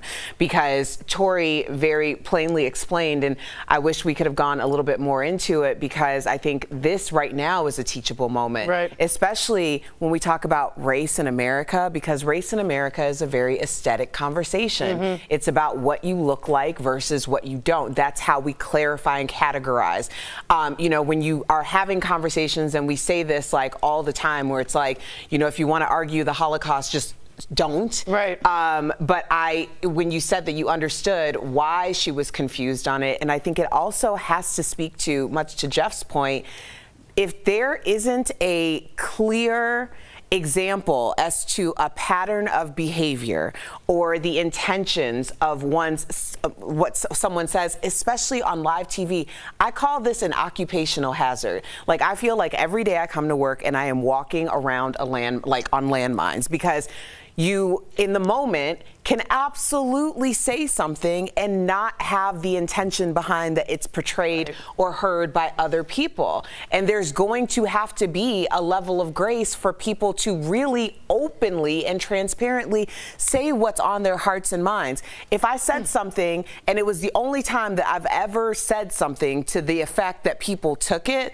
like I wasn't on Facebook posting these anti or hateful things, or, you know, I don't have this um, in- in my heart, then I would expect that someone would give me some grace to say, I am so, sorry. So you don't think she should have been suspended? I believe, just speculating, that she was in on whatever the decision was made for her. Interesting. Tori. I strongly don't think she should have been suspended. and I'll tell you why. Mostly because of what you said, but also because of the word intent. I don't think Whoopi maliciously was trying to tell us that it wasn't a race war and we're being silly. I think she clearly didn't know.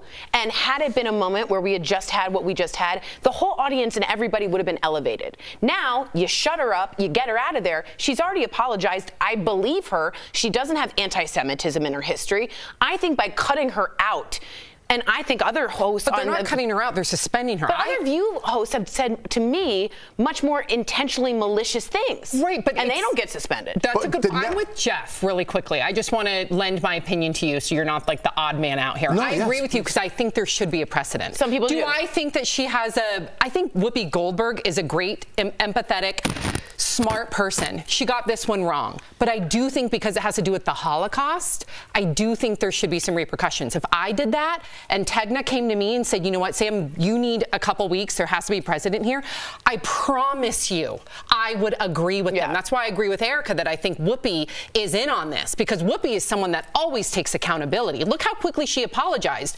Kudos to her. But um, I agree with you, Jeff. The There network's got to show they're in charge, right? This again, the same network that pushed Chris Harrison out. Was there room to grow there? I think so. Did But he didn't apologize right he did apologize. He went on GMA and He kinda apologized. I don't want to. I don't. Again, I don't want this to think that I'm sticking up for racism No, and what he did No, because that's where it's going to go. But I'm talking network in the business a little bit now. They got to show their hand. But they the can't just show- let her. I agree They can't just let her slide when they fire other people for virtually the same thing. I agree, but it's called The View. Listen, I don't gave think she her should be view, suspended either. And it was View when it wrong. comes and she said, I'm sorry. And then she went on a tour to apologize. So I don't think the suspension was necessary. A lot of my Jewish Going on brothers late and night show isn't a tour, by the way. Okay, I think a lot of my brothers and sisters who are Jewish would feel the opposite of me and absolutely think there should be a precedent set, including my father.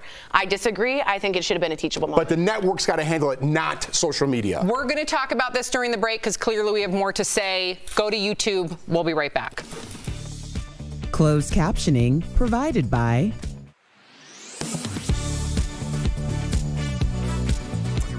So here we go, Sam. Let me show you. So Jeff told me he got some new pants. So those are the ones I got. Oh my God, they're exactly. Yeah, I First of just all, bought those. Though you, this is not the same. They look the same, but there's no pleats.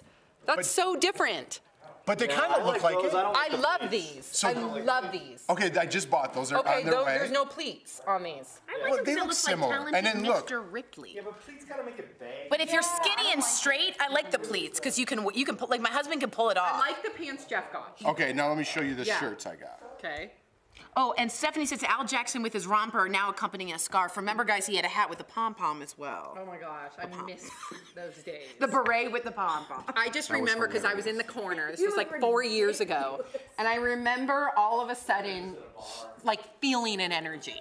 I look to that corner and Al Jackson walks in super strolling. Like he knew people were gonna notice. He had his little beret on with a pom pom. He was holding hat boxes with like, I don't know how many hats he got during the break. Three.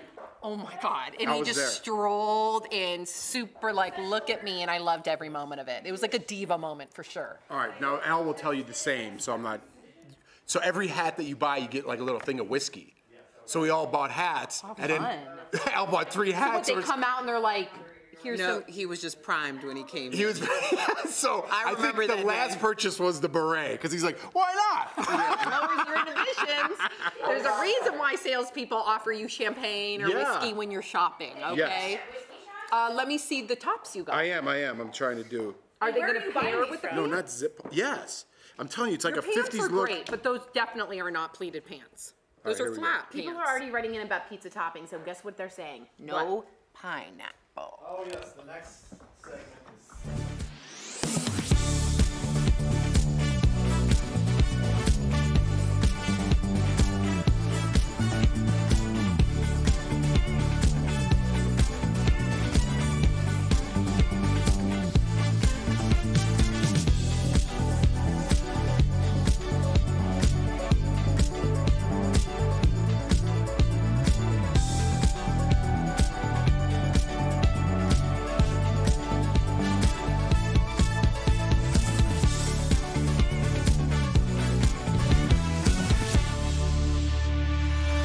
Welcome back to DBL. The Washington football team officially announced its new name this morning. Tori, this is your team. Hello! They're now called the Washington Commanders. They also unveiled a new logo and uniforms. The name was chosen in part to incorporate the military because of its connection to the nation's capital. We don't have much time, so quickly reaction. What do you think? It doesn't roll off the tongue. Don't love Washington Commanders. Okay. Would like the Warriors. Prefer it. This is what they came up with after two years. Great job. So you're not into it? No. It sounds a little more like NCAA than NFL. It's like Totally. we are the commanders. we are the best. Okay. Division Division three. Division three. yeah. Do you like it? Do you like it? I don't care. Okay. I don't watch football. I would love to lend an opinion, but it doesn't matter to me. So go Commanders. Yeah. that- that- Go Commanders. All right, so kids in Cincinnati have reason to celebrate because public schools in the city, speaking of football, are giving the day off the day after the Super Bowl. It's to celebrate the Bengals making it to the big game. A lot of people think that Monday should be a national holiday. What do you guys think? Okay, look at look at Jeff. Of course, I've been saying this forever. If I were running for president, I'm not even joking. They oh should Oh my put this on their campaign right. list. Be like, I am going to give the United States off on Monday. I would vote for that person. I- I'm not even joking because I don't know anything about politics. That would be my point And of I'm aware of that, and I would not vote for you, but I would think about it because of your stance on this. Guess what? I don't appreciate the pointing in my face. You know what? I won't do it anymore. I right. apologize. Do you accept my apology? Yes. Okay. I just have to say, I don't like. We've had a hard year, a couple years. Cincinnati wasn't ever supposed to do this. It's like Major League doing it. The Bengals, give them the day off. Let us have the moment to celebrate and have morale for a What do the city. kids care? What do- because the parents are hungover. They don't want to be in line and carpool. Ay, the light. Oh so you agree with me? Yes, I'm saying. What was the harsh reaction? I wouldn't agree with anything politically other than this on your stance. What if they lose? So you'd vote for me? What if they lose? Who cares? Well, Then you, need a day of mourning. That's it. Yeah. That's I mean, the productivity is so low on the Monday after Super Bowl. Plus, I think this also works in the favor for the young hearts because, you know, Valentine's Day is that Monday. And your birthday. And, well, and my birthday, another national holiday. Thank you. Uh, yeah, so, you know, that's kind of a traumatic day for a lot of young Mm-hmm. people. So they get to skip Valentine's Day. But you know that girl with the boyfriend who decorates a I locker is so mad. Yeah, did you guys- She is mad. Did you guys have someone that would come in and give out flowers? Yeah, and some people didn't get Me the neither. flowers. I didn't like that. Okay. I bet you always gave out flowers. No, we had those little like things that you rip and you everyone gets one. You Every know, like- card. Yeah, just a card. I didn't get Flowers. one. Yeah, I didn't high get school, one. There was a person that came in and was like, Joe got you a flower.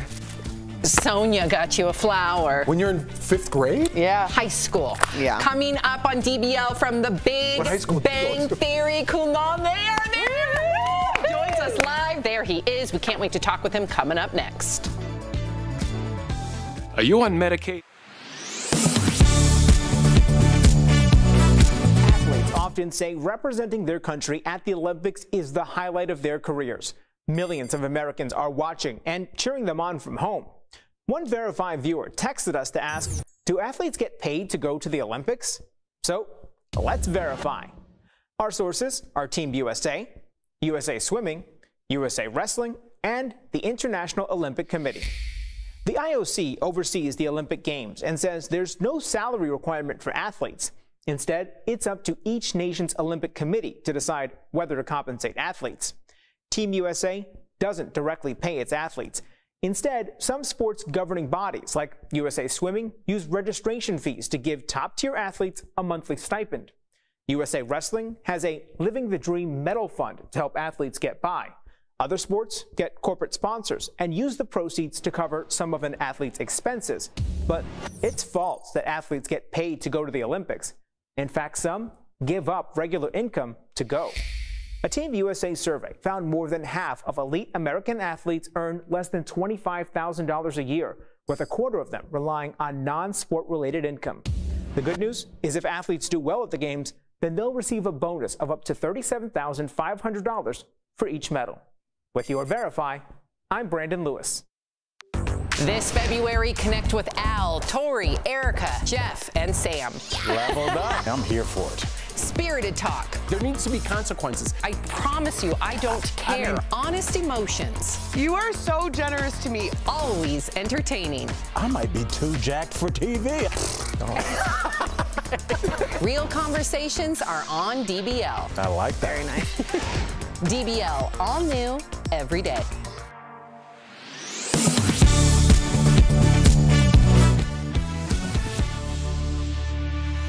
Welcome back to DBL. For 12 years, we loved him as the astrophysicist who couldn't speak around girls and loved comic books. But his new role is a far cry from his comedic one on Big Bang Theory. Please welcome to the show, Kunal Nayyar. Yeah, yes, baby. What a gorgeous background. Where are you? Rich mahogany. I'm in uh, I'm in London right now on a press tour. So Oh. this is, I believe, the end of the day for me. It's uh, almost 7:15 p.m. and we've been at it since early this morning. So Oh. if I speak nonsense or gibberish, it's just me uh, as a robot on repeat. That's okay. He's exhausted. Yeah, and guy. he's saving the best for last. That's right. Yes, he Yeah, is. that's Uh, it was recently revealed that your Big Bang co-star Johnny Galecki would stick his chewing gum to a specific part of the set. Did you leave your mark anywhere on set or take anything with you after the final show? You know, no, I wanted to. There was a lot of things I really wanted to take, and then you know we got wrapped up in the emotion of leaving, and everything was, you know, you're not thinking straight. Uh, so I didn't take anything. I really tried to take the entire Johnny Galecki chewing gum wall and frame it in my house, but my wife just didn't think that was a good idea Right. as art. Well, let's talk about 12 years on a show because that is just an amazing feat. It's the stuff that dreams, career dreams are made out of. But you recently said that the intense filming schedule made you miss a lot of personal things. So is there one event that you may regret missing the most? Oh, that's a great question. Uh, probably the birth of my niece. You know, I think that's the hardest thing is because my family lives in India and I live in LA. And as you guys know, because you guys work so hard, that that's the hardest thing is you miss people's births. You know, you miss people's weddings. Like I was in India recently after the show ended, celebrated my friend's 40th birthday uh, with a lot of tequila and enjoyment, and I missed out a lot of uh, events like that. I turned 40 and nothing happened, and I'm sad too. well, if I was your friend, I would have come to your birthday. You just made her whole year. Oh, he's a friend. He's a friend. You just got a number one fan right Yeah. now. All right. All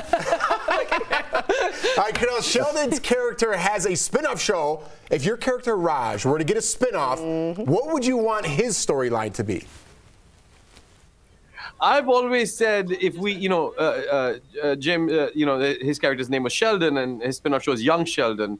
I always thought mine would be called Old Rod. I think that would just be an interesting juxtaposition. No one would probably watch it, but I think just for my own humor, it would be fun to be called, you know, Old Raj. if you need help having no one watching, you could put Tori on it too. Okay, we're moving on. Yeah, hey, I'm making yeah, I'm making a lot of friends on this show, so we'll have at least four viewers. Oh man, and I'm one, right? Right? Okay. So uh, people Yeah, who know, thank you. People who know you for your Big Bang role. My whole family's obsessed with you, but they might be a little thrown off by your British accent on your new thriller, Suspicion. How did you perfect that accent? Oh boy. Sorry. Oh boy.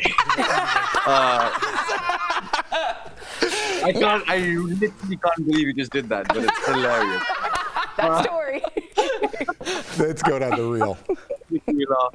Uh, I, to be honest, I would, um, I would just get into taxi cabs and I would drive around with sort of, uh, you know, they call them black cabs here. Yeah. Just jump into taxi cab drivers and uh, sorry, practice with the taxi cab drivers, and that's how I really perfected the accent. Perfected is a strong word. How I got better at the accent. That's smart. Very smart. Great. So now Tori's going to go try and do that. What do you mean, Samantha? Samantha, what do you mean? Lord. Uh, okay, so let's talk about suspicion Yes. because you are one of a group of people suspected of kidnapping Uma Thurman's son. What was it like starring alongside the Oscar-nominated actress? I mean, she's uh, obviously a cinematic icon, and to just have your name on the same call sheet as hers is a great honor in itself. Uh, but all the other actors in this show as well, you know, that uh, play such incredible characters. You don't know.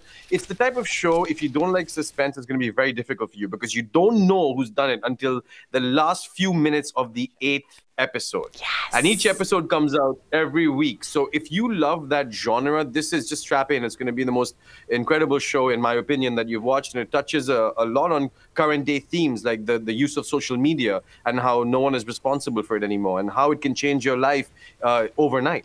Ooh, I can't wait. I am so excited. The first two episodes of Suspicion start streaming on Apple TV Plus this Friday, February 4th, with all new episodes premiering weekly. Kunal, thank you so much for putting up with us. Go get yourself a pint. You deserve it. Yeah, I'm still trying to get over oxen. Oh, God. Have a day. we'll be right back. Bye. Thank you, I'm get some Kunal. bangers in. Ta ta. Promotional consideration is brought to you by N95 masks are considered the gold standard to protect people from COVID 19, followed closely by KN95 masks. They were in short supply in the early days of the pandemic, but today you can readily find them online. But there's a catch. The Centers for Disease Control and Prevention says 60% of KN95 masks it evaluated were fake. So let's verify. Is there a way to determine if a KN95 or N95 mask is counterfeit? Our sources are the CDC, the National Institute for Occupational Safety and Health, or NIOSH, Project N95, a nonprofit clearinghouse that helps organizations get authentic personal protective equipment, Amazon, 3M, and patient safety organization ECRI. NIOSH is the federal agency that tests and approves N95 masks in American workplaces. A mask must meet rigorous standards to earn its approval, which is indicated by a unique number stamped in the front. The mask should also have the NIOSH logo, a lot number, brand name, and model number on the front. 3M says if an N95 doesn't have any printing on it, then it's probably not authentic. Fake KN95 masks can be harder to detect, and ECRI says counterfeiting may be even more rampant. This is because KN95 masks must meet Chinese government standards, which require less labeling.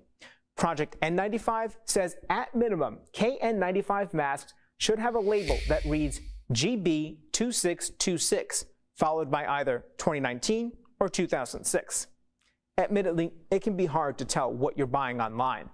Amazon, one of the most popular online mask retailers, tells Verify it confirms N95 and KN95 masks are sourced from trusted manufacturers before listing them in its store, adding it implemented a quote rigorous seller vetting and product review process to ensure compliance with applicable laws, regulation, and Amazon policies, unquote.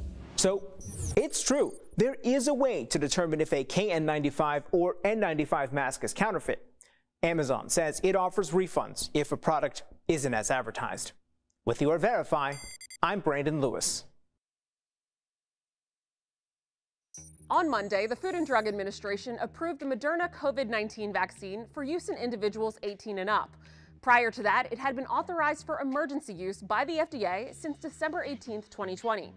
Following FDA approval, Moderna says the vaccine will now be marketed in the U.S. under a new name, Spikevax. On Facebook, Verify viewer Lisa asked when the FDA approved Spikevax will be released. But that implies that Spikevax and the Moderna COVID 19 vaccine authorized for emergency use aren't the same. So, Lisa, let's verify. Are Spikevax and the Moderna COVID 19 vaccine the same? We went to these sources for an answer. According to the FDA and Moderna, Spikevax and the Moderna COVID 19 vaccine that was authorized for emergency use are the same thing. They have the same formulation. There isn't a release date for Spikevax because it's the same as the Moderna vaccine that's been administered to more than 74 million people in the U.S., according to CDC data. So we can verify yes, Spikevax and the Moderna COVID 19 vaccine are the same.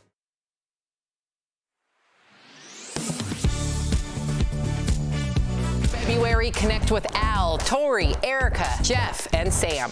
Leveled up. I'm here for it. Spirited talk. There needs to be consequences. I promise you, I don't care. Honest emotions. You are so generous to me. Always entertaining. I might be too jacked for TV. Real conversations are on DBL. I like that. Very nice. DBL, all new every day. Ooh, you do not want to miss a single day of February. Okay, Tori, we actually have a comment for you in regard to the Whoopi Goldberg conversation. This is coming from Mary White. She says, Tori is such a hypocrite. I have seen her blast conservatives for making comments similar to what Whoopi said, and Tori called them racist or anti-Semitic. Now, I read you this comment because you're you're great at uh, having open debate. Totally, and I appreciate that feedback, and I would understand such a tense topic would bring this out. I think the difference there is just the word intent. I don't think that she was anti-Semitic in her intent when she said it. She was factually incorrect. I do think some people who do say things that are anti-Semitic are malicious about it, and there's the separation. So if there was someone else, uh, let's say that was on the Meghan McCain had said that on the View, would you have thought differently? I would have worried about her intent, maybe. Okay. Interesting. If you're, thank you for oh, for answering. Of course, and thanks for the feedback. You can watch the second half of the show online, but if you're sticking around, here is what's coming up.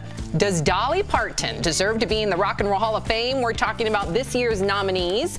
Plus, David Letterman revisits the late night show set, how he's celebrating 40 years since his show's premiere.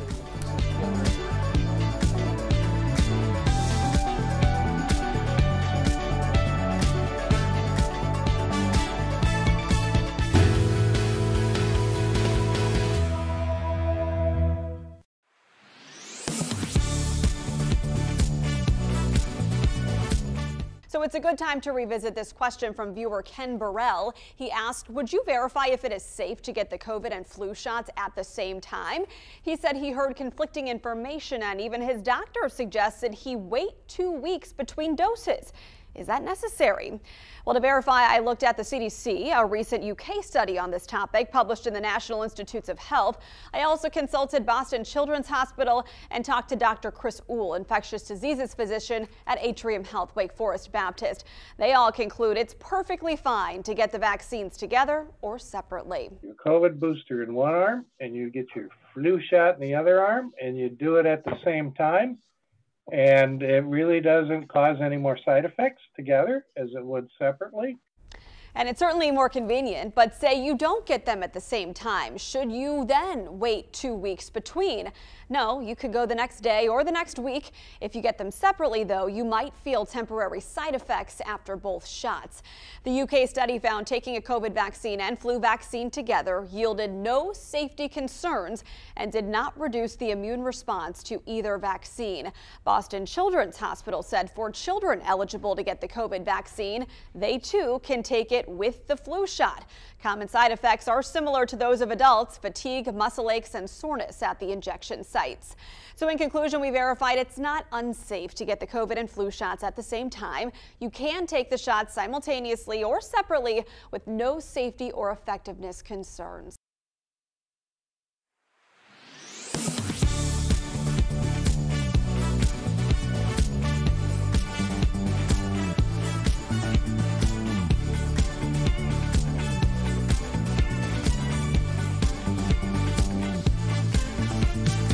Is Daily Blast Live. We're talking about what you're talking about. Oh my gosh. Are you insane? This is a sham. No. No. Y'all, y'all, just it's stop. finally here. Drum roll.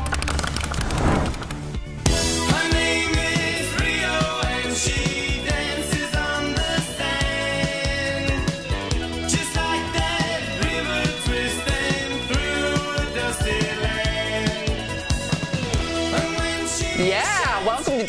That was Duran Duran with their big hit Rio from the 80s. The band was just nominated for this year's Rock and Roll Hall of Fame. Other nominees include rapper Eminem, who will be performing at the Super Bowl, Carly Simon, who was known for her hit You're So Vain.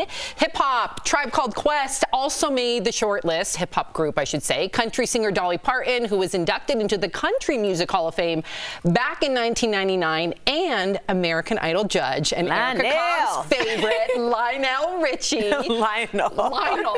I copied what you said. Yeah, Lionel. because that's what he says. People call him. Lionel. I Hey, Lionel. I was like, isn't it Lionel? uh, who we all know from his songs Hello, All Night Long, and Dancing on the Ceiling.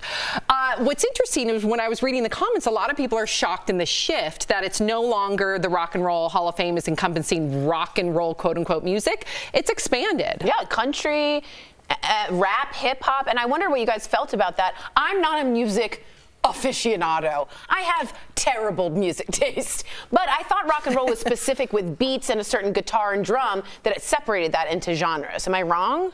I think there's just how many rock and roll bands are there? I think you just have to put Yeah. the Music Hall of Fame at this point. And maybe take out the rock and roll, and then, then it encompasses everybody, right? And then we could go on and on. Who uh, surprised you the most that they weren't on this list? Lionel.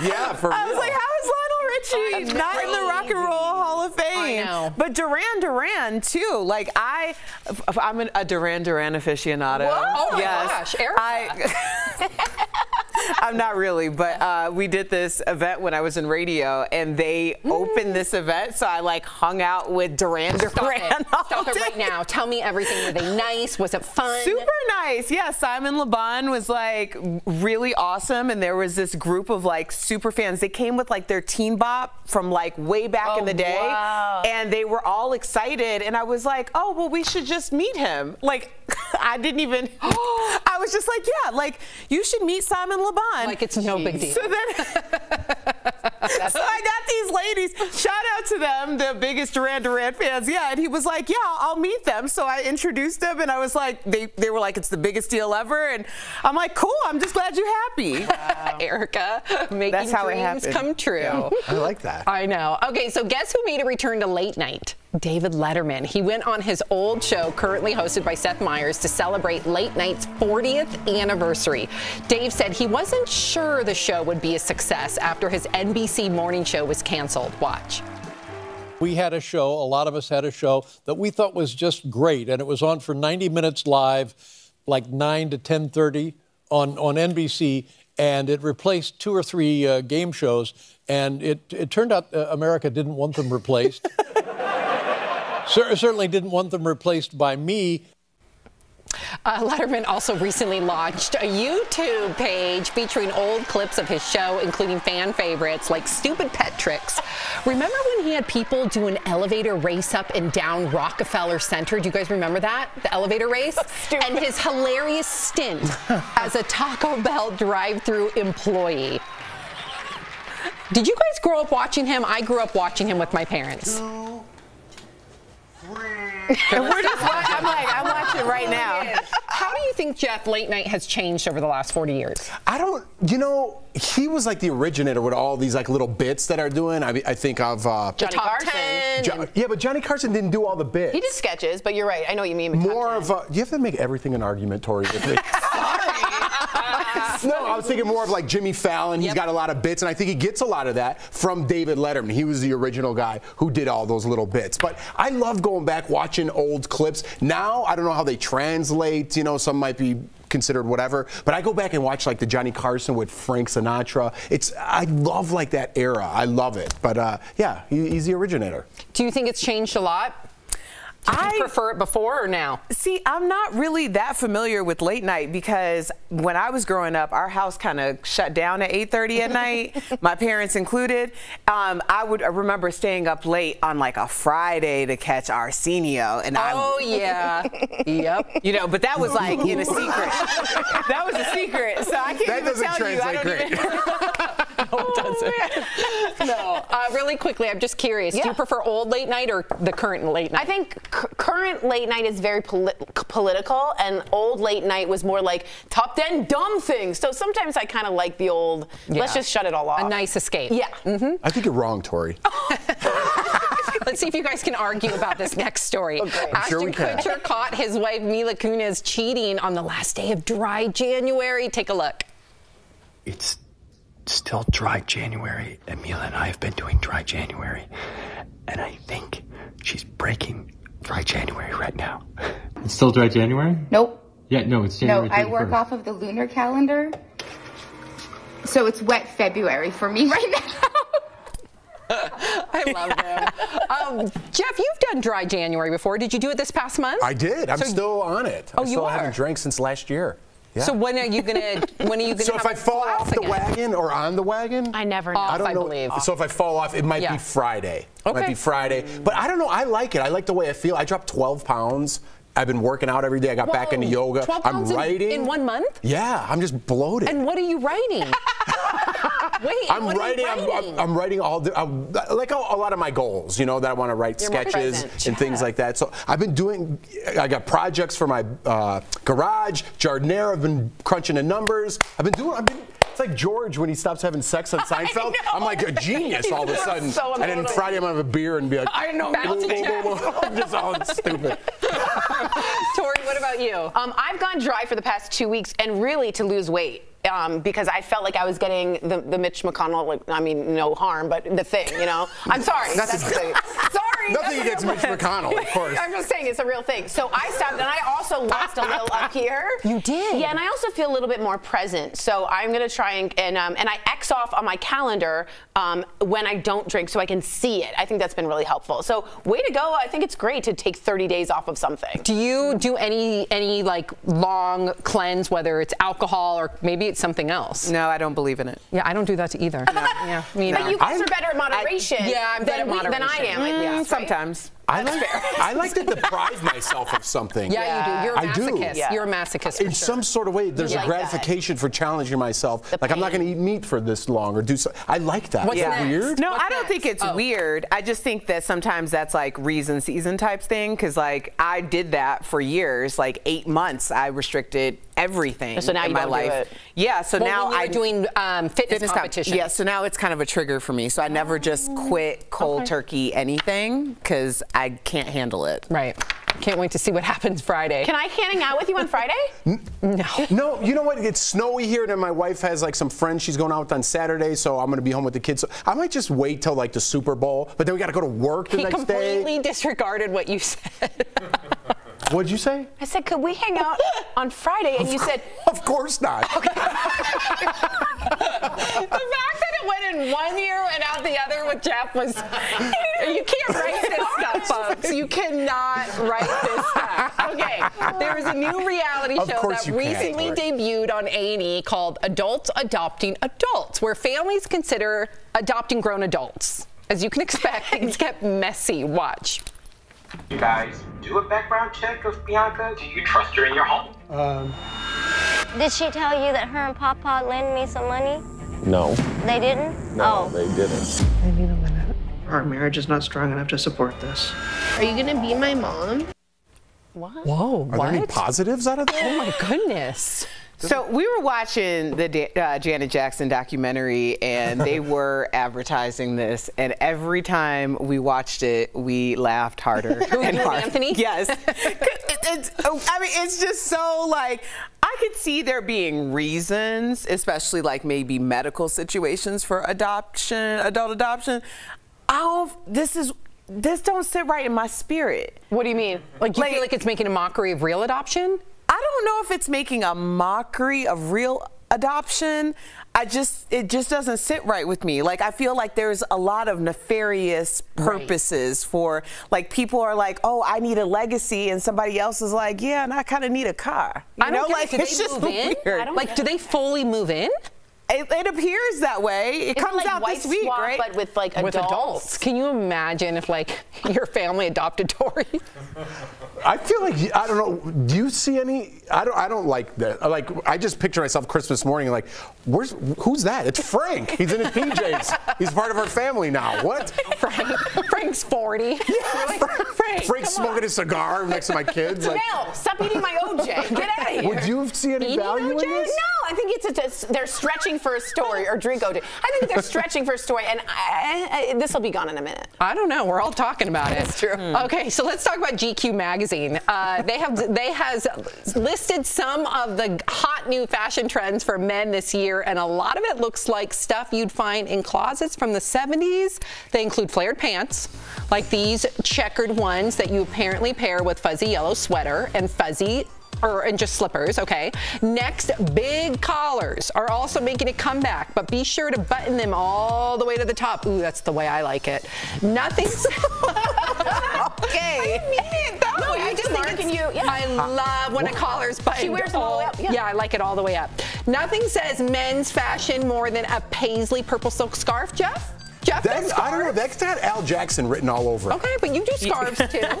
Not the silky ones. No, you do like like uh, woven ones. Like you're a sailor in Ireland on the sea. I do like that look. Yeah, yeah. Yeah. And to complement that look, you've got to have a velvet jacket. And this one is Do a you see those pants, by the way? Yeah. I'm into those. I'm into the, The 50s? like Yeah. the 50s look. It looks like Z Cavaricci's. Remember those? Yeah. E Cavaricci's. And Do this one is remember? a bit of a wild card. Uh, balaclavas, if I said that right, are not just for bank robbers.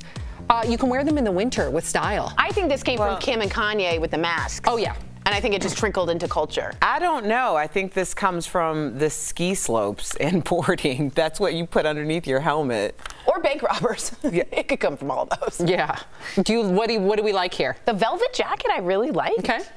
More fit. I like those pants. Yeah, I'm a big fan of the structured velvet jacket. I think that is that is classic. You can th- I can also think of all the iterations of it mm-hmm. throughout the years, and it's just it's just something. I Like, don't dig the ah. pants. Sorry, Jeff. Listen, so- Those are like grandpa pants, and I usually like. a But see, I like, I so I like like grandpa I don't like sweater. it. So if you mm-hmm. had that with like a 50s, you know those button up that are knit. Like James Dean looking. Yeah, you know I mm-hmm. like that old look. I like a grandpa sweater. look. I'm not feeling the pant. I always like the I collar actually just bought a buttoned pair of pants like that. No, you did not. I'm going to show you at Are you break. gonna you're gonna wear them here? No, they're- because they're I can't wear those. Maybe. Are you gonna go all in and do like like, Like a the roll-up greaser I brought, t-shirt I bought some and uh, knit cigarettes shirt. in there? Yeah, yeah. I'm gonna lean against a car while everyone looks at me.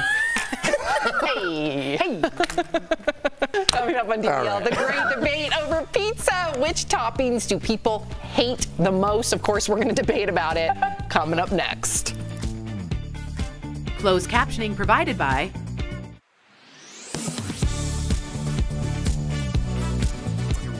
so here we go, Sam. I'm gonna show you. So Jeff told me he got some new pants. So those are the ones I got. Oh my God, they're exactly. Yeah, I First of just all, bought those. Though you, this is not the same. They look the same, but there's no pleats. That's so different. But they kind of look like it. I love these. So- I love these. Okay, I just bought those. They're Okay, on their tho- way. there's no pleats on these. I like well, they look similar. and then look. Mr. Ripley. Yeah, but please gotta make it big. But if you're skinny and straight, I like the pleats because you can you can pull like my husband can pull it off. I like the pants Jeff got. Okay, now let me show you the Yeah. shirts I got. Okay. Oh, and Stephanie says Al Jackson with his romper now accompanying a scarf. Remember, guys, he had a hat with a pom pom as well. Oh my gosh, I miss those days. The beret with the pom pom. I just remember because I was in the corner. This was like four years ago. And I remember all of a sudden, like feeling an energy. I look to that corner and Al Jackson walks in super strolling. Like he knew people were gonna notice. He had his little beret on with a pom pom. He was holding hat boxes with like, I don't know how many hats he got during the break. Three. Oh my God. And I he just there. strolled in super like, look at me. And I loved every moment of it. It was like a diva moment for sure. All right, now Al will tell you the same, so I'm not.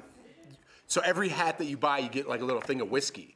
So we all bought hats, and then Al bought three So what, hats. they so it's- come out and they're like, here's No, some. he was just primed when he came. He in. was so. I I, think the that last day. purchase was the beret because he's like, why not? lowers your inhibitions.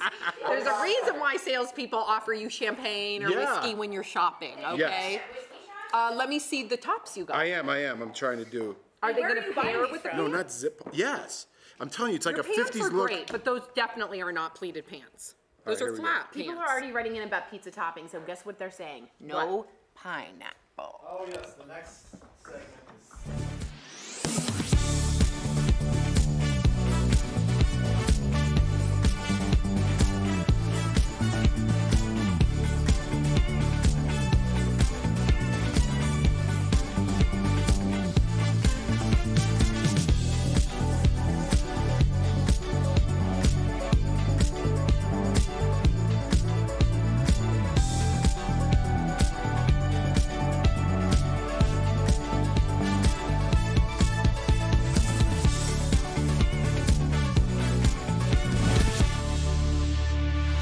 Welcome back. Shall we have a conversation about pizza? We shall. Yeah. Got some backstage. Ooh, a new poll has revealed the three toppings that Americans hate the most. And spoiler alert, pineapple is no longer the reigning loser. In third place, are we ready? Tori Drumwall. Yep. Mm-hmm. Jalapeno peppers. Huh. Okay. Pineapples took second place. And for the least desirable pizza topping of all time, get it, Tori. The winner of the losers. Ew, anchovies for sure. Yuck. what any of you do you, any of you like? Oh, I still got to read. Okay, sorry. The survey also revealed that for unlimited free pizza, people would let someone spoil every movie they saw, shave off all their body hair, or text an ex. Hmm. What would you guys do for unlimited free pizza? At text, I mean, all of it. You would shave all your hair. For unlimited pizza? Yeah. Yeah. What? For the rest of my life? Okay, I'm gonna test Jeff on this. If there's any pizza companies out there that want to sponsor Jeff and offer him pizza for for you to shave off all your hair, that includes your eyebrows. That's a tough one. And I gotta you check always with my make fun of my no eyebrows, so jokes on you. Well, it's not yet. What was that, Courtney? You want to get sick of all that pizza coming from Courtney? I just, I'm more into the free for life type of thing. Okay. You know? Yeah. What about you, Erica? No, yeah, I'd rather just work and, And pay what, for what's, it. what's the least desirable topping to you? Um, I don't. I guess. Well, anchovies seems a little like you know just strange to put on a pizza, but I always have the same go-to pizza order no What is matter this? what. Oh, you got to do. Uh, pepperoni, mushroom, and black olive, and then you want to put giardiniera on top of it. Okay, Chicago is. Yes. What about you, Tori?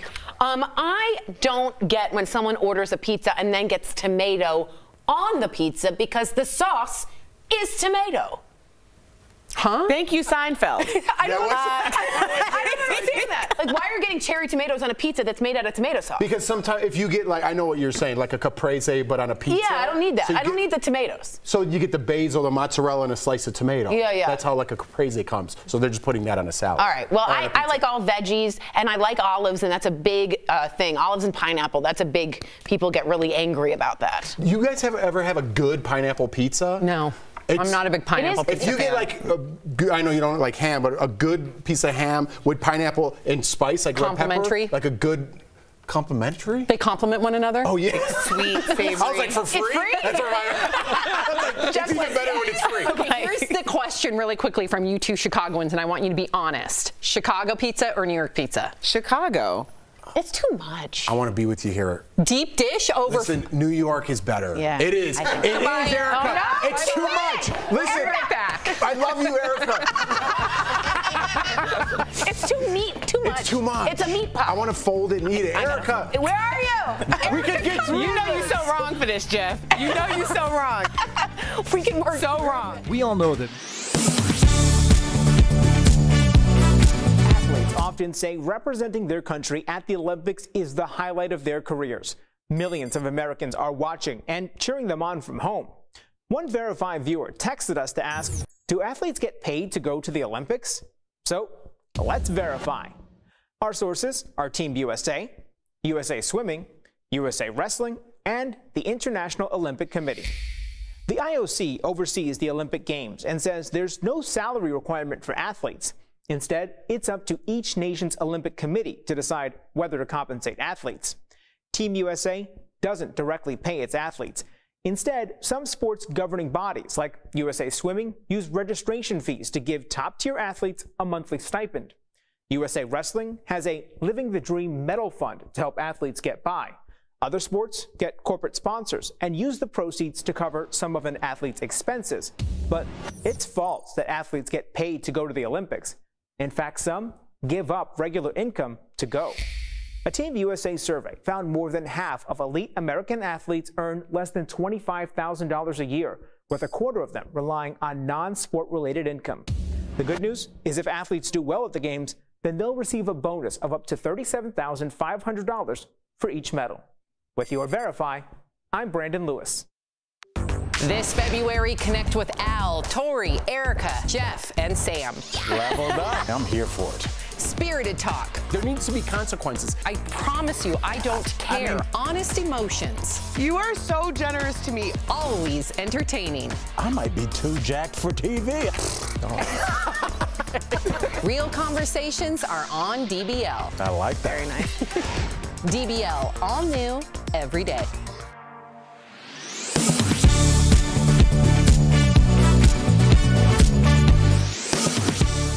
Tomorrow, live on DBL. From Queer Eyes is Fab Five Jonathan Van Ness. Vivica A. Fox will also be here live. Plus, we talk with the Louisiana Senate candidate who smokes pot in his ad. What's behind this shocking campaign strategy? That's tomorrow on DBL. Welcome back to DBL. It's time for a healthcare update sponsored by Go Health. Staying active with age not only helps you stay fit, it supports brain health, and this can slow down the aging process. According to a new study, daily physical activities like jogging, walking, and jumping jacks can actually prevent dementia. Staying active as you age supports a special class of proteins in your brain that enhance the connections between neurons. So get moving if you want to maintain a healthy brain. If you're looking for a health insurance plan, Go Health makes it easy to enroll. Call 1 800 650 2534 or visit gohealth.com to find the plan that's right for you. We'll be right back. DBL is sharing milestones in Black history. DBL is sharing milestones in Black history. The civil rights movement is responsible for equal rights in America, and civil rights leader Bayard Rustin faced discrimination and hate not only because of the color of his skin, but also because of his sexual orientation. Although he did not live to see the first black president, Barack Obama awarded him with the Presidential Medal of Freedom for his activism. Promotional consideration is brought to you by N95 masks are considered the gold standard to protect people from COVID 19, followed closely by KN95 masks. They were in short supply in the early days of the pandemic, but today you can readily find them online. But there's a catch. The Centers for Disease Control and Prevention says 60% of KN95 masks it evaluated were fake. So let's verify. Is there a way to determine if a KN95 or N95 mask is counterfeit?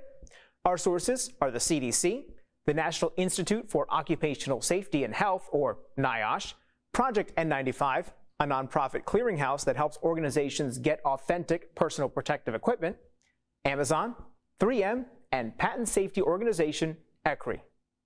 NIOSH is the federal agency that tests and approves N95 masks in American workplaces. A mask must meet rigorous standards to earn its approval, which is indicated by a unique number stamped in the front. The mask should also have the NIOSH logo, a lot number, brand name, and model number on the front. 3M says if an N95 doesn't have any printing on it, then it's probably not authentic. Fake KN95 masks can be harder to detect, and ECRI says counterfeiting may be even more rampant. This is because KN95 masks must meet Chinese government standards, which require less labeling. Project N95 says at minimum, KN95 masks should have a label that reads GB2626, followed by either 2019 or 2006. Admittedly, it can be hard to tell what you're buying online. Amazon, one of the most popular online mask retailers, tells Verify it confirms N95 and KN95 masks are sourced from trusted manufacturers before listing them in its store, adding it implemented a quote rigorous seller vetting and product review process to ensure compliance with applicable laws, regulation, and Amazon policies, unquote. So it's true. There is a way to determine if a KN95 or N95 mask is counterfeit. Amazon says it offers refunds if a product isn't as advertised. With your Verify, I'm Brandon Lewis. On Monday, the Food and Drug Administration approved the Moderna COVID 19 vaccine for use in individuals 18 and up. Prior to that, it had been authorized for emergency use by the FDA since December 18, 2020. Following FDA approval, Moderna says the vaccine will now be marketed in the U.S. under a new name, Spikevax. On Facebook, Verify viewer Lisa asked when the FDA approved Spikevax will be released. But that implies that Spikevax and the Moderna COVID 19 vaccine authorized for emergency use aren't the same. So, Lisa, let's verify. Are Spikevax and the Moderna COVID 19 vaccine the same? We went to these sources for an answer. According to the FDA and Moderna, Spikevax and the Moderna COVID 19 vaccine that was authorized for emergency use are the same thing. They have the same formulation. There isn't a release date for Spikevax because it's the same as the Moderna vaccine that's been administered to more than 74 million people in the US, according to CDC data. So we can verify yes, Spikevax and the Moderna COVID 19 vaccine are the same.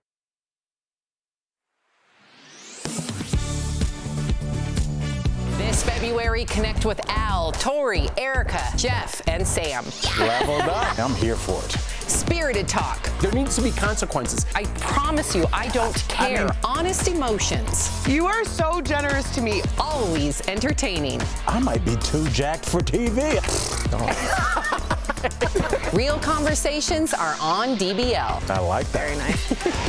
DBL, all new every day. Okay, welcome back. We love reading your comments. Of course, it's all about pizza. Stephanie says New York pizza. Marquita says no to pineapple, and New York is pretty good, but Chicago's on point. Thank you, Marquita. I'm Real- down with it. She's a Chicago girl. Real royalty says Chicago pizza is like an entire meal, It not is. grab and go. Vincent says New York pizza because there's less crust and messy sauce. What's the type that's real thin?